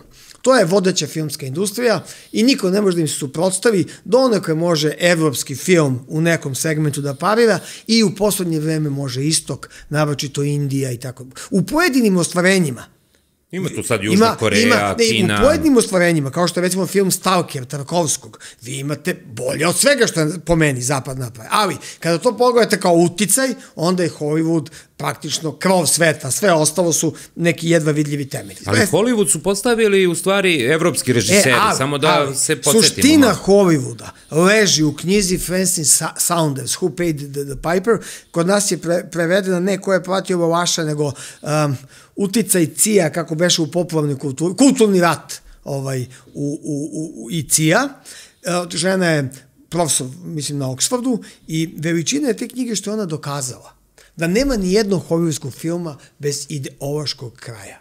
Čak i Orwell, koji je napisao veliku, veliki pisac, bez sumnje, ovaj, pa njegov, ekranizacija njegovog dela Životinska farma završava na jedan, da tako kažem, a, prosto konzervativno pesimistički način, nema nade za čovečanstvo. I ljudi i životinje, ovaj, i svinje, sve je to isto. A oni ga ekranizuju da su istočnjaci, čitajte Sovjeti, odnosno Rusi svinje. Orwell se buni, to je plagijat, to je falsifikat kakav ne postoji i ne može ništa. Ona opisuje taj događaj. Opisuje da svaki hollywoodski film mora da pregleda ideološka komisija, da se na kraju pojavi američka zastava i da ima happy end i tako dalje. Hoću da vam kažem, jer vi vidite kako je to vešto upakovano. Ideologija kao i kod Rusa kod Sovjeta, pardon, ali kod Sovjeta imate mrak, ne možete da gledate kad gledate. I, i naši partizanski filmovi, negledljivi koliko su crno-beli, izveštačeni, a ovde imate tako dobro upakovano da vi na kraju praktično hteli ili ne postanete zavisni kod toga. E, to je ta razlika između njihove popovne kulture i stvarne vrednosti ovaj, a, a, u nekom smislu ovaj, umetnički, umetničke skale po kojima bi to ovaj, gradirali. Kada kažete rock and roll, ta muzika koju ste malo čas spomenuli, ovaj, mislim na soul, na blues, to praktično nije zapadna muzika. To je muzika njihovih rabova. To je muzika koja je došla iz Afrike i koja je u tom ovaj, preumljenju koja se desilo i promeni praktično nastala iz duše ovaj, potlačenih ljudi. Njihova muzika, ali oni su je prodali, oni su upakovali. Svi ovde kažu engleski humor crni, nije nego irski ukraden od divaca. Uh, čaj u pet, pa nije njihov običaj, nego indijski. Odakle čaj? u Velikoj Britaniji. Je tako? E, engleski punopravni, uh, punokrvni galoper. Pa nije tačno, nego irski. Irci su narod, ovaj, kad uđete istorijski konjskih trka i tako dalje i tako dalje. Korida španska, pa nije španska, baskijski običaj. jednog potpuno klaustofobičnog zatvorenog naroda koji se čak i u krvnoj slici RH faktora razlikuje od evropskog čoveka. Prosto je to nauka dokazala. Hoću da vam kažem, oni su majstori kao imperije da to upakaju, da prisvoje i da prodaju. I skidam kapu na tome. I zato samo je bitna ta ravnoteža. Upajati te, upijati te vrednosti, usvajati ih, ali sa ipak jednom ravnotežom. Nema rock'n'rolla, i ovaj, a, a, ali slušat ćemo ga, živet ćemo u tom okruženju. Međutim, ovaj, a, uvek možete postaviti pitanje, a šta je bolje da slušate u krajnjem slučaju? Rolling Stonese ili Rimskog Korsakova? A, da li je bolje da slušate Beatlese ili da slušate Rahmaninova? Da li je bolje da slušate Clash recimo ili da slušate Čajkovskog? Znači, hoću da vam kažem, vrlo je to osetljivo pitanje. Svi mi znamo da je klasična i ozbiljna muzika e, pet kopalja iznad ove muzike. I znamo još jednu stvar. Druga umetnička dela nisu korespondirala sa opijatima. Rock and roll je završio kao heroinsko džubrište. Je tako? Manje više su stvarali samo pod uticajem heroina. Što bi rekao ja naš zajednički prijatelj, pa ja bih bio dečak iz vode, ja sam bio svaki dan na heroinu. Hoću da vam kažem, ja dolazim iz jedne druge civilizacije, ako bih birao zapadne i, i, i dole, to bi bio Faulkner, to bi bio Joyce, to je bio jedan ozbiljan svet koji je radio dnevno po 10 sati, koji je čitao mnogo, koji je imao karakter. Joyce, u doba kad je bio veoma siromašan, veoma siromašan, ovaj, dobije priliku da a, a, oštampa svoju knjigu. To nije kao u ovo vreme. Tada je to bio veliki podvig. Ako u 30. godine u tom nekom periodu vi štampate knjigu, vi ste odjednom postali imućan čovek. Imate od čega da živite. Knjiga je bila jako skupa stvar. Honorari su bili veliki. Ulazite u elitu. Znači, to je bio veliki događaj za mladog pisca. Menja mu iz osnova život. I traže od njega da promeni jednu rečenicu. On kaže za kralja engleske, kaže koji nikad neće biti kralj, jer mu ovaj, kraljica majka neće dati. Oni ga move da promeni tu rečenicu i da, da se promeni život iz temelja. I on je promeni. I kaže, koji nikada neće biti kralj, jer mu matova zva, oho, veštice od kraljice neće dati. Naravno, ne štampaju mu knjigu, ali to su bili ljudi karaktera. Nedavno si izjavio da je e, da Srbi koji su zadojeni tituizmom ne mogu više biti Srbi. Zar nisi malo preterao? Da li nas to dovodi u, u neke nove podele? Pa nisam baš dao eksplicitnu izjavu tako, nego sam prosto objašnjavao dva radikalna pola. O, o, znamo šta znači biti pripadnik srpskog naroda i moja teza je bila da u krajnjoj instanci postoji jedan drugi narod ovde, na našu nesreću vladajući, koji izgleda kao da su Srbi. Ali u suštini oni ne dele pripadnost, solidarnost i vrednosti srpskog naroda i oni su zapravo jugotitoisti. I ako mi daš malo vremena, to moram da obrazložim. To je ipak jedna smela teza. Smela, na čemu smela. Se, na čemu se ona bazira? Pa bazira se na tome da zapravo, a, da biste bili srbin, da imate, da imate osjećaj srpstva, da, da pripadate tom narodu. Ja vam postavam pitanje da mnogi za koje mi mislimo da su Srbi, a koji ovde trenutno gospodara našim prostorom, javnim, ne znam kako, neobjašnjivo je, ovaj, zapravo nemaju taj osjećaj. A ponekad će neko od njih licemevno i dosta lažno reći da ima, ali on u suštini ga nema. Evo zašto ga nema.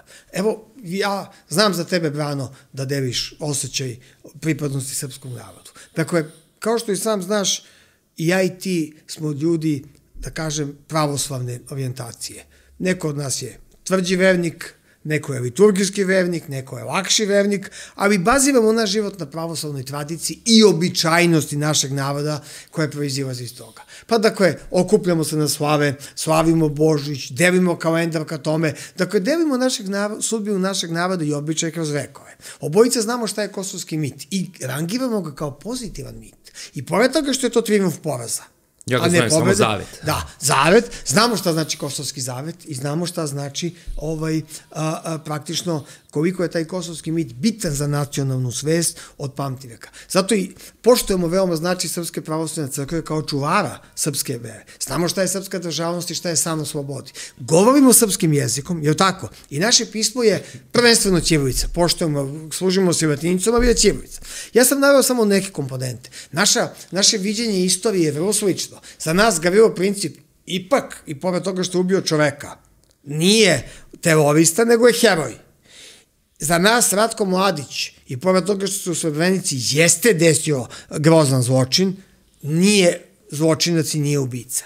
Za nas znamo ko je general Mihajlović, šta je Draža Mihajlović i mi zapravo delimo tu jednu vrstu pogleda na istoriju, u sve istorijske činjenice. Mogu bih dalje da nabrojam. Ja vam sad postavljam pitanje da li one ličnosti koje imaju srpsko ime i prezime, a koje govore u naše ime, dele sve ove vrednosti ili većinu tih vrednosti. Da oni govore da se mi suočimo s našim zločinima. Pa oni se ne suočavaju u ime srpstva. E, tu je problem, nego ime jugotitoista. Jer, evo, ja sam spreman u ime srpstva da se suočim sa zločinima. I kada kažem Srebrenica, moram da pomenem i Bratunac i Kravicu. Moram da pomenem jednu vrstu ravnoteže koja postoji. Pa i ako je greh sa naše strane veći, mi ćemo to da kažemo. A nemojte nam dajete lažne brojeve. Nemojte da nas vrstavate u genocidni narod, a da čutite o Hrvatima koji su jedini bre imali logor za decu u, istoriji čovečanstva u Jastrebarskom. Koji su nekoliko stotina hiljada ljudi, da ne citiram, zverski pobili po Jasenovcu sa par hiljada u Svebrenici, a se mi poistovjetimo. To je taj sindrom srpske krivice. I taj um, ovaj, praktično titoistički svetonazor, kao sistem je najbolje definisao profesor Lompar, kada je rekao titoizam je ideologija. Antisrpska na unutrašnjem i antiruska, ne antisovjetska, dakle antiruska na spoljnom planu. Baziran na malo čas pomenutom ovaj sindromu srpske krivice. U tom smislu, ti ljudi za mene jesu drugi narod. Oni pričaju ne srpskim, nego srpsko-hrvatskim jezikom. Oni baziraju viziju države na ravnoteži sa drugim narodima u elementima srpske krivice.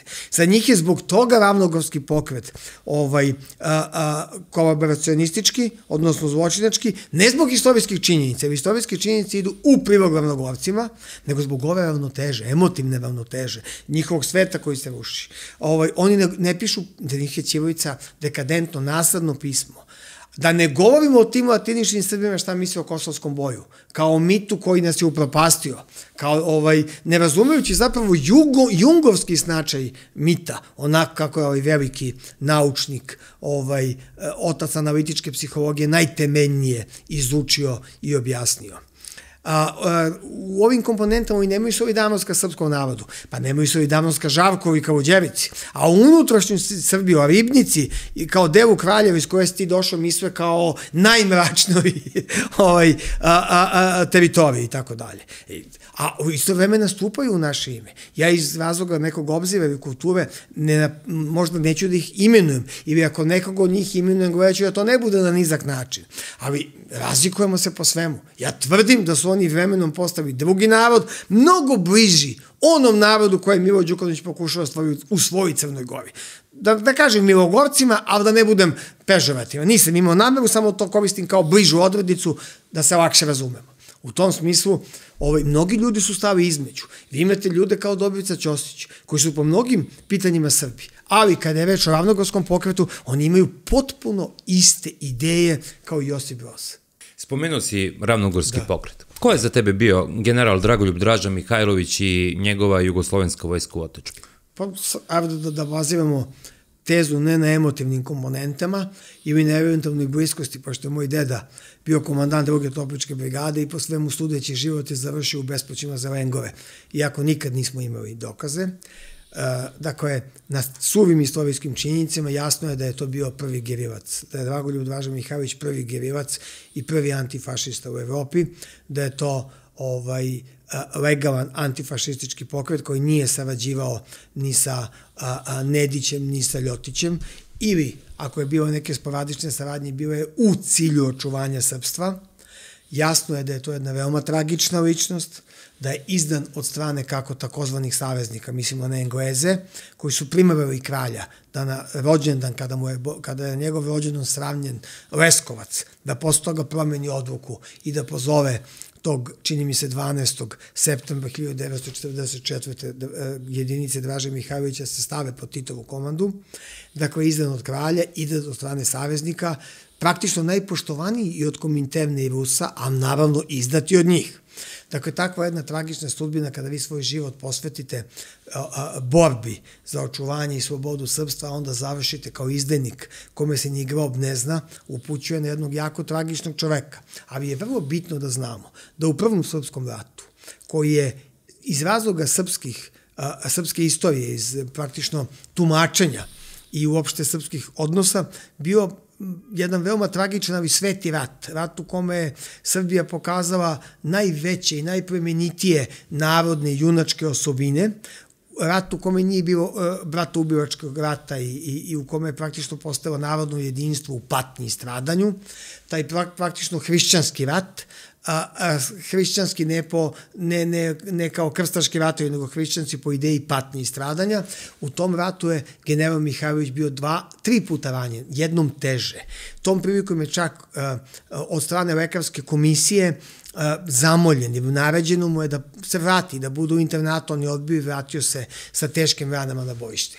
Dakle, u tom ratu, svetom ratu, jedan čovek je bio na, u 42. vražoj e, diviziji u 25. domobranskom ovaj, puku, ime mu je Josip Broz, i kao deo te vražje divizije koja je počinila nezapamćene zločine u Pocerju, Podrenju i, i Mačvi, Josip Broz je nagrađen To bio je čin. Ne znamo ništa o njegovim individualnim zločinima, ali znamo da je deo jedne izrazite ovaj antisrpske koljačke ovaj vojske. Sa druge strane Draža Mihajlović je od početka do kraja rata bio u srpsku vojsku, gde kažem da je ranjen, prošao je sve Golgote Albanije, prošao je sve patnje rata, a nakon toga su ga raspovedili da još dve godine bude u, u, u Makedoniji na granici sa Albanijom, da praktično sa pobunjenim ovaj arnautskim bandama vodi rat praktično je bio u ratu šest godina.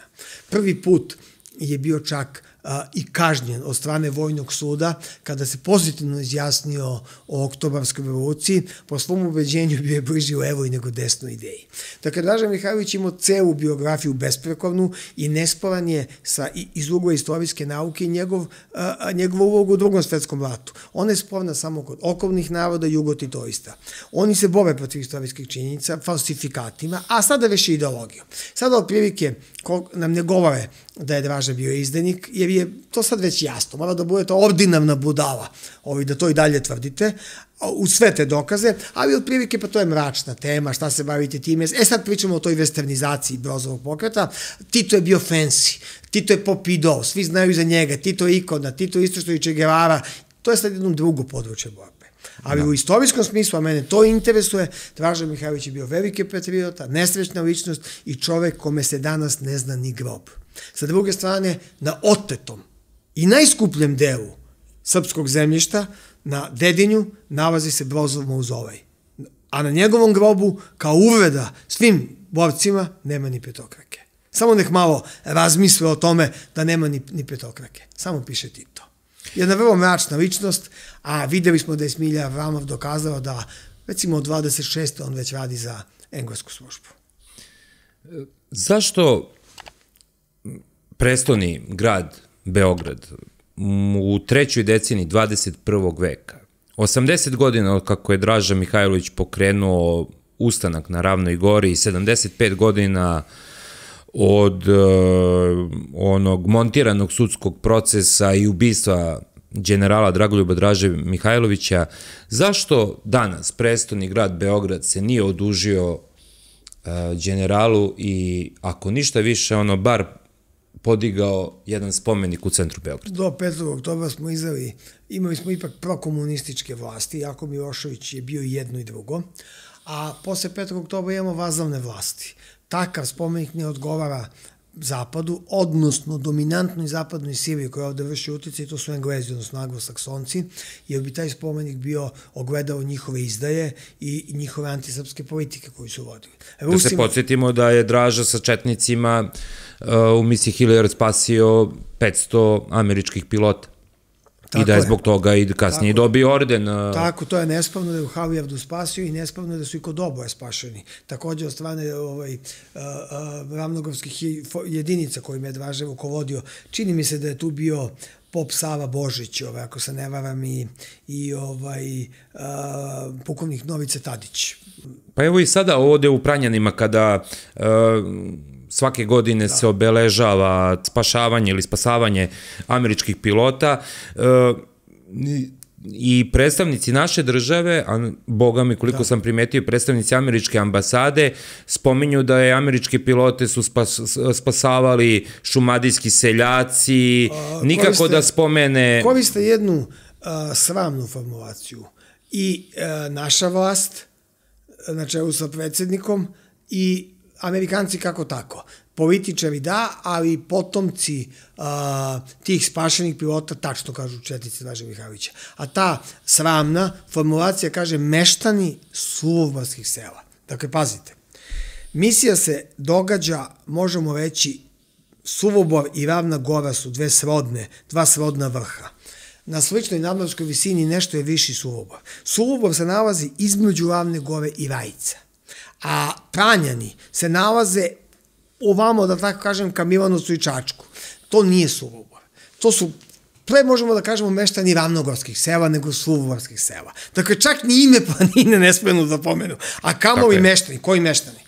aerodrom je, su napravili jedinice Draže Mihajlovića, za kratko vreme su osposobili jednu ovaj, njivu, odnosno poljanu, da naprave improvizovani aerodrom koji je spasio, gde su piloti sletali i tako dalje. Točili gorivo i neki su od njih ostali, neki su odmah odlazili i tako dalje.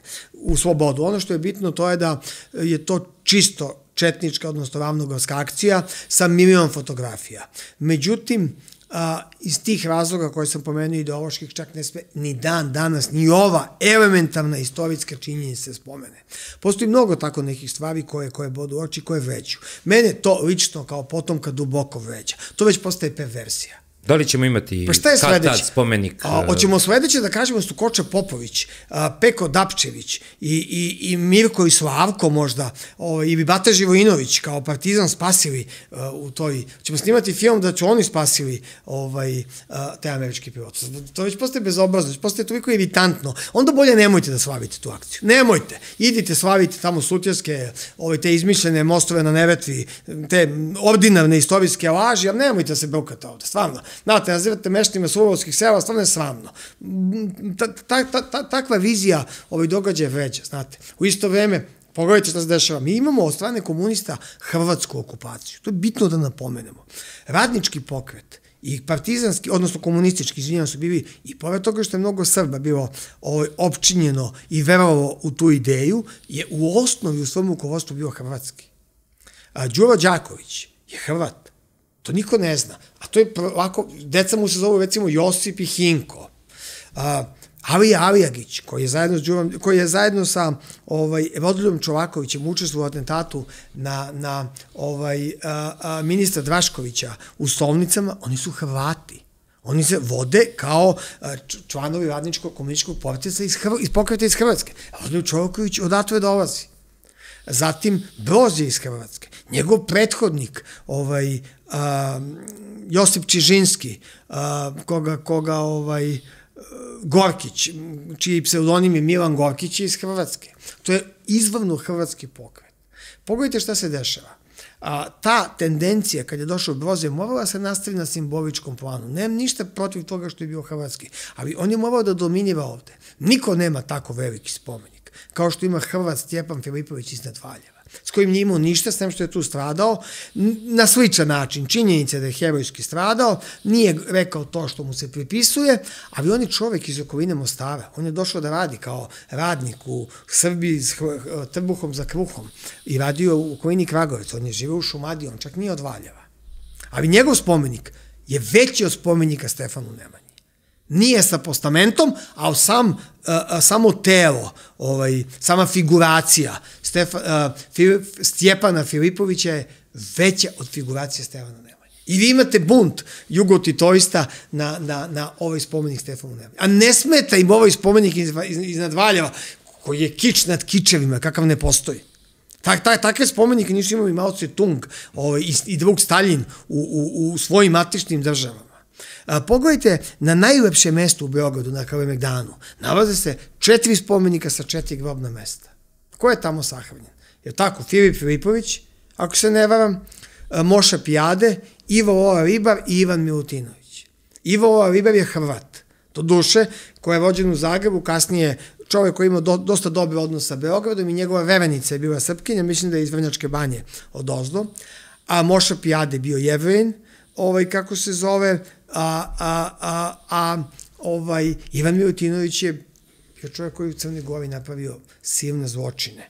Da ne govorimo o tome. Ali oni su morali da budu tu sahranjeni, na tom mestu. Nisu mogli da budu sahranjeni i im se pravi spomenik nekom drugom mestu. To je centralno mesto okupacije, mesto odakle mogu da gledaju na Novi Beograd gde se proteže Hrvatska ravnica i tako dalje. Na simboličkom planu bilo je mnogo nepravdi koja je nanešena ovaj, ovde, gde, bi se morala pokazati ta vrsta okupacije. To je ona Sito Watsonova, dakle, anglosaksonska doktrina, da ako je velika Srbija nužnost, mi ćemo je stvoriti. Biće velika Jugoslavija i sa katoličkim vođstvom. Zato je Čerčivo mnogo više odgovarao i Tito, sa svim svojim manama kao njihov agent, jer je ipak dolazi sa katoličke strane nego povratak srpskog kralja.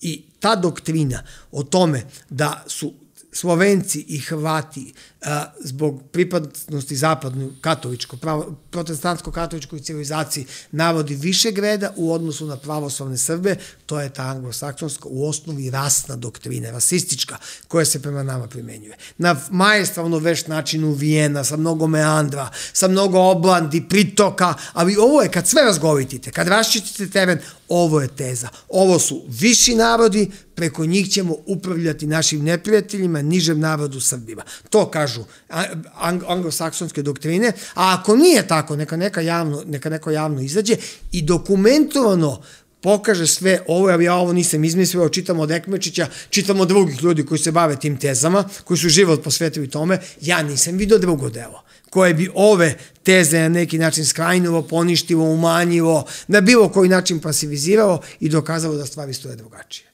Da li postoji veza između tituističkih ideologa iz druge polovine 20. veka i današnjih drugosrbijanaca? U dobroj e, meri postoji. U, u, u ona tri postulata kojima smo pričali kad je već o liberalnom kapitalizmu, o njihovom odnosu ka zapadu i o direktnoj povezanosti. Kod nekih iz druge polovine 20. veka ne postoji veza. Bilo je i među takvim ljudima koji nisu zadržali bliskost ka zapadnoj civilizaciji, a jesu ka tom titoističkom zapravo ovaj kultu gde bi sindrom srpske sindrom srpske krivice bio temelj te države, ali suština njihove veze je zapravo dominacija prema srpskom narodu i jedna vrsta odnosa a, a, ka, ka srpskoj nacionalnoj ideji i uopšte ka srpskom stanovištu koja mora da bude njegova permanentna negacija i koja mora da gradi zapravo srpsku krivicu kao temelj za neko novo društvo,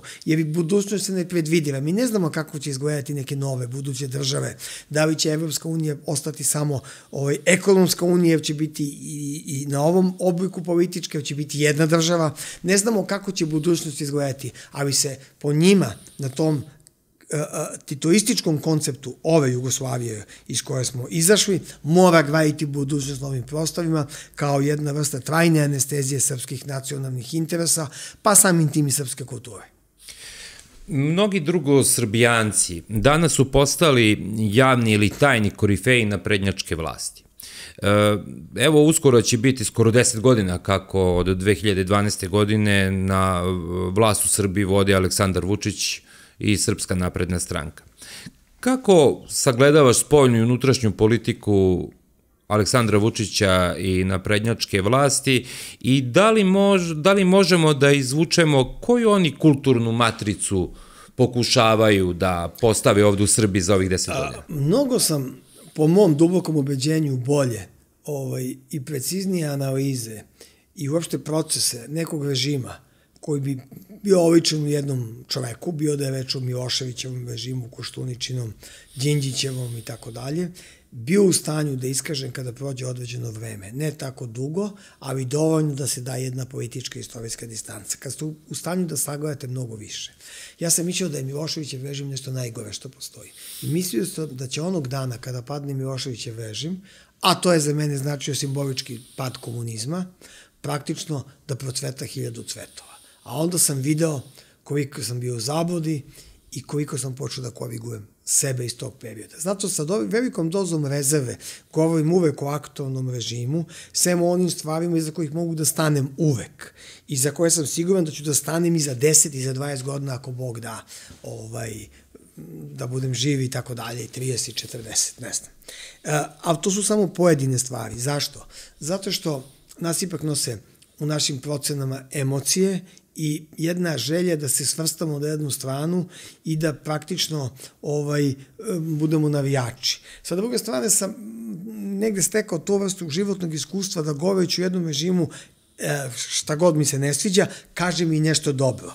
Jer čak i oni režimi, čiji sam protivnik trajno ostao, ajde da kažemo i Miloševićeve, to je bio za mene režim za kog nikad ne bi glasao, pa i Tadićev, da budem iskren, su imali svoje dobre komponente i stvari zbog kojih bih mogao da im pružim ruku. I volio bi da se tako sagledavaju stvari, ne samo kao ka režimu, nego i kao, ka, ka pojednim ljudima, jer sam umoran od te crno-bele estetike, manihijske podave, ta partizanština, s jedne strane bogom dani ljudi, a s druge strane najcrnji mogući. To je nut koji sam ovo da napravim, da prosto nametnem jednu, do, do, do, bar u ovoj emisiji, uh, političku kulturu za koju mislim naravno, da je neophodna. A, kada bi, prvo da progovorimo nešto o drugosrbijanskom karakteru ove vlasti. Ja sam i napisao par tekstova na tu, na tu ovaj... Uh, uh, evo samo da, evo da. prosti što, što te e, prekidam, ali je vrlo zanimljivo da, da je pre par dana Uh, Jelena Milić, da. jasna promoterka NATO alijanse ovde u Srbiji, da i neko koga možda možemo da svrstamo u tu drugosrbijansku ekipu, od strane predsednika i ove vlasti postavljena za ambasador u Hrvatskoj. Uzao si jedan primer. Nije jedini, je tako? Ima, ima, ima ih. Pa ja sam to otprilike probao da objasnim ovako. Ti znaš da se u Srbiji 60. 70. 80. godina desila ogromna krađa dece po porodilištima. I najčešće krađa je bila među blizancima. I vrlo često bi u javnosti bili ljudi poput Dragana Šormaza, za koje bi neko povrlo da je to onaj Dragan Šormaz iz DSS-a koji je bio najveći protivnik NATO pakta. A sada je Dragan Šormaz najveći promotor NATO pakta. E, tajna je u tome što je otet njegov brat Blizanac, pa je došlo do zam... Jo, kako bi jedan čovek mogao danas da priča jedno, a pre nekoliko godina diametralno suprotno? E pa nije ista Jelena Mivić, ja sam potpuno ubeđen da je to njena bliznakinja. Ja se, napisao sam tekst na tu temu satiričan, pa se malo šalim, ta, tako bih mogao da objasnim. Kako objasniti o, da, činjenica je da ovaj režim je catch-all partiji koja zahvata i levo i desno. Ima mnogo drugosrbijanaca i ima i patriota. Znači, njihova glavna snaga na kojom oni počivaju je politička analitika u medijima koja ipak dolazi sa patriotske strane. Bar pre dolaska Vučića na, na, na, na političku scenu, to su ljudi koji su bili protiv. Drugosrbijanaca. I tu ima respektabilnih imena, da li postoji neka vrsta dogovora između režima i njih, ili je to prosto njihova orijentacija, oni to brane da tako štite državu? I da bi raspadom režima bi se raspala u ovom momentu i država. I za jedno i za drugo ima za i protiv, ja ne delim njihove stavove, ali volim da čujem. I smatram da u tim stavovima ima dosta što ovaj, mogu da prihvatim. Sa druge strane ima mnogo i druga Srbijana stranaca. Ono što je paradoks, gde režim a mislim, lično je Aleksandar Vučića ozbiljno greši. On smatra da time što drugosrbijancima daje prostor, što im daje novac, što im daje vlast, da će im se dodvoriti da oni praktično promene svoje fundamentalne stavove. Ne. To su ljudi koji svoje mišljenje ne menjaju, bit će nemilosrdni prema naprednjacima onog trenutka kad budu bili u prilici da, da uzvrate. Biće mnogo gori, baš zato što su krajno što ih Vučić ponizio da mu i služe. Tako da vidim Veran Matić, čovjek koji je kveču u Vukovaru, čovjek vrlo skromnog obrazovanja i bez ikakve težine u ovom društvu je odabrao da kveči u Vukovaru. A da prethodno nije otišao u Jasenovac ili da nije napravio... Kao i zaslanik da, predsednika države da, Aleksandra Vučića. Jeste. I da, kad sam postavio to javno pitanje, da mi, da mi se odgovori, naravno niko mi nije odgovorio. Dobro, ja nemam tu težinu, ali um, kroz moje pero je govorilo pa miliona ljudi sa, ist, sa, sa, sa, sa, istom, tako je, tako sa istim pitanjem, je tako? Ovaj, Jelena Milić, mogu sad da nabrajam dalje, pa nije ni Biljna Sabljanović bez uh, pozicije u ovom društvu. Ima mnogo ljudi. Ovaj, da biste vladali, verovatno da tu ima dosta i tehnologije, da morate ljude kupovati. Verovatno da bi mnogi uradili, ako ne slično, ono, bar neki od tih manevara, da bi prosto jednu vrstu negativne energije i baražne vatre ovaj, uspavali da bi je prosto anulirali. Ali s druge strane smatra da to šizofrena politika, da će pre ili kasnije doći na tešku naplatu. Nemoguće da ima za svakog sve. Politika je ipak jedna, jedan ideološki pravac osnovni. Sad vi možete određene ljude u određenim akcijama i sa druge strane nagraditi ukoliko imaju neke prosto stvari koje se neko se s vašom političkom i prosto trgujete, plusevi i minusevi. Tako da ako mene pitate recimo, Meni je neshvatljivo da Nena Čanak ima toliki prostor na televiziji. Danas je imao prostor na televiziji, mislim da zove prva televizija, koja je gledana, koja je prosto nacionalna frekvencija, od jedno 40 minuta je bio samo u studiju. Ja nikada nisam vidio u udavnom tom jutarnjem terminu sa ove strane Slobodana Antonića Lompara, Mišu Đurkovića, Slobodana Veljića, uh, pa nisam vidio ni tebe, Brano, da se da toliki prostor. Tu i tamo ima kod, kod Marića u tim intelektualnim debatama na uvijeni način, a ovo su udavni termini kad se veoma gleda televizija. Ali ovo nije Čanku prvi put. Ja ga danima gledam na televiziji kao učesnika onog sramnog ovaj, pokušaja linča naših vladika na Cetinju. On je tamo otišao da da podršku Milo Đukanoviću. Milo Đukanović je najmračnija ličnost Balkana. Jer za razliku od ovih dvogi koji imaju prvenstveno političko, pa zatim kriminogeno, kod njega je kriminogeno broj jedan. On je čovek koji je praktično šef svih balkanskih mafija koje se bave švercom droge i, i cigareta i čovek koji ovaj, je imao najmračniji jednopartijski režim u kome su Srbi satanizovani kao narod više ne ni drugog nego trećeg reda. I to Milo Đukanović Čanak daje podršku. I to je njegovo pravo. I onda ga zvanični mediji promoviću da mu daju takav prostor da sam ja bio šokiran. Ne, neverovatno. Uticaj Čede Jovanovića. Što manji politički uticaj, to veći javni. Teško je to objasniti zdravo razumski zbilja. S druge strane, ima i patriotskog sveta koji može da kaže, ali se bojim da takva politika će prije kasnije doći na ozbiljnu naplatu. I da kod onih tvoraca koji smatraju da su tako kupili svoju budućnost, će izazvati kobne posledice. Igore, za kraj, uh, jedno pitanje koje a postavit ću ga u formi anketa koji se postavlja evo, već 30 godina ovde u, u, u Srbiji. Da li Srbija treba i srpski narod treba da se odreknu Kosova i Metohije zarad mogućeg ulaska u Evropsku uniju? Šta zapravo znači ovako postavljeno pitanje? I da li ono može da se prevede uh, ako, uh, sledećim, na sledeće reči?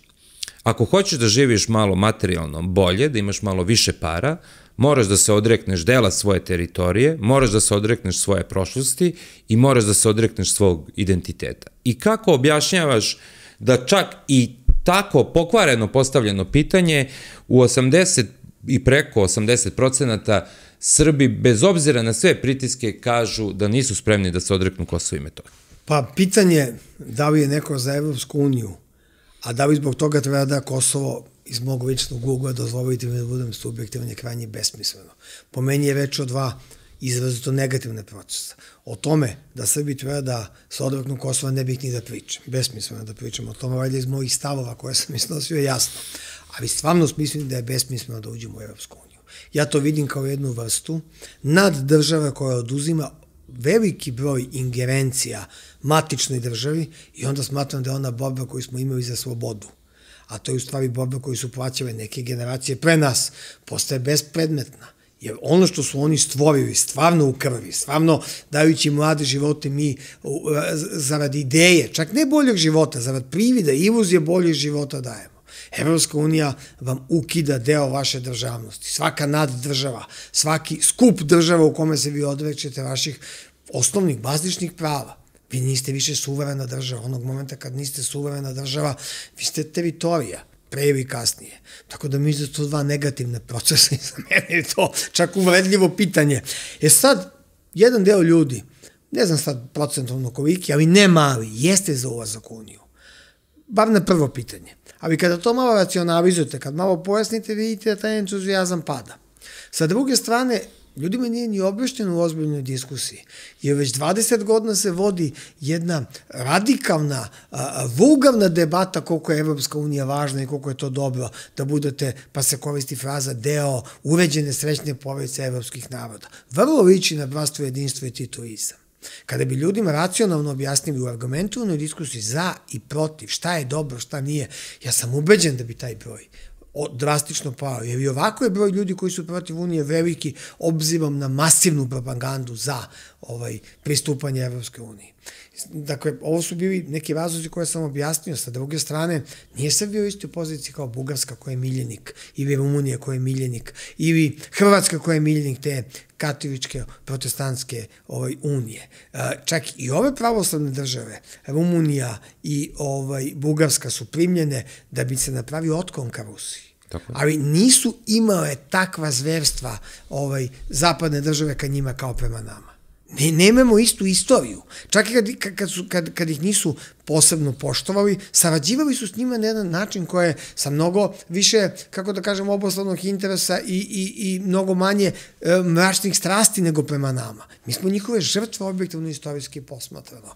Pričamo samo o politici. Plus kada uzmemo te vrednosti Evropske unije, koje su te materijalne vrednosti radikalno, vulgarno, u koje se sve manje veruje i koje su praktično, ovaj, kako da kažem, neprihvatljive ljudima sa jednom temeljnom pravoslavnom civilizacijom. Čak i ako niste neki vernik, ali prosto postoje neki moralni postulati zbog kojih vi smatrate da vaš život ima smisla. I ovaj, sa druge strane, Ja smatram da treba da budemo u jako dobrim odnosima sa Evropskom unijom. Ja nisam neprijatelj te unije, niti pak smatram da Srbija treba da bude sukobljena. To ne, ali ne unutra. I možemo napraviti da jednom taj specijalni status. Da bude neki čovek koji će imati onu stvar među nogama da povede Srbiju, da kaže ne unutra. Da, sa Unijom, ali ne unutra. To su vrlo bitne razlike. И онда ви немате право на самоставну спољну политику.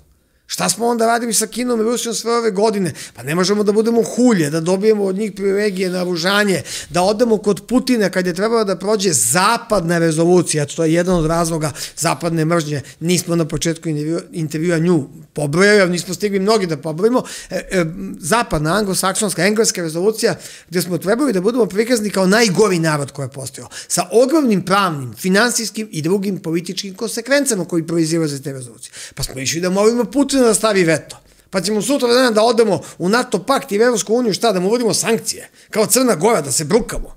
Možete misliti šta će sutra dan da bude kada Rusija ojača, i Kina kada ojača, a kod njih su svetski resursi u Kini sve više naučni, a biološki, izvorni resursi ovaj, energetski su u Rusiji. Pijeće vode. Šta će biti sutra dan ovaj, kad sve te države koje kao uvode sankcije, te patuljaste države, one uvode sankcija da ne znaju o čemu je reč. Kakva priča o Ukrajini, nego što im rekli u američkoj ambasadi. I ta vrsta evropske političke elite, u našem okruženju, pa boga mi u većini evropskih država, velikoj većini, je do te mere postala vazalna, da to već postaje mm, gorko govoriti o njime. Ne znate da li da se smijete ili da plačete. Ljudi bez stava, ljudi bez prava na zaštitu svojih interesa. Vi praktično kad danas, vi znate koji sam ja protivnik komunizma i o tome smo pričali, tako i danas. Ali ti kad se setim, to su bili ljudi, većina njih, pa oni koji su izašli iz rata, oni su imali svoje ja. Đilas je imao svoje ja. Uh, Dedjev je imao svoje ja. Mogu da nabrajam dalje. Današnja evropska uh, politička elita, kad je upovedite s jednim degolom, kad ih upovedite sa onim ljudima, To su neverovatne razlike. A mi dalje imamo predstavu o velikim i urađenim civilizacijama, o velikom vojstvu i liderima i to je naša tragedija. Tako da, ako mene pitate, to je podmuklo pitanje, na pitanje da li Srbija treba da se odrekne Kosova, ne. Da li treba da uđe u Uniju, ne. Tačka. Da li treba da uvede sankcije Rusiji, Kini, naravno ne. Ravnoteža. Čovek je biće ravnoteže, univerzum počiva na ravnoteži, naša politika mora biti politika ravnoteže. Igore, hvala ti puno na ovim rečima i mislim da e, će naši gledalci i slušalci uživati u ovom dvočasovnom razgovoru. Nadam se da ćeš nas uskoro obradovati sa nekom novom knjigom, a nadam se i novim e, gostovanjem u podcastu Kod Brani. Za gostovanje ćemo ovako, a što se tiče knjige treba da spremim dopunjeno izdanje i prošireno kulture i identiteta, naravno pogled s desna, za Katenu Mundi i nadam se da će ova godina koja dolazi biti godina u kojoj ću to, taj podvig moći da ostvarim, da ću imati dovoljno i pameti ovaj, i, i vremena uz Božju pomoć. Nastavljamo saradnju svakako, hvala ti još jednom. Sve vas pozdravljam do sledeće emisije sa krilaticom naše izdavačke kuće. Mislite hrabro i osetite slobodu.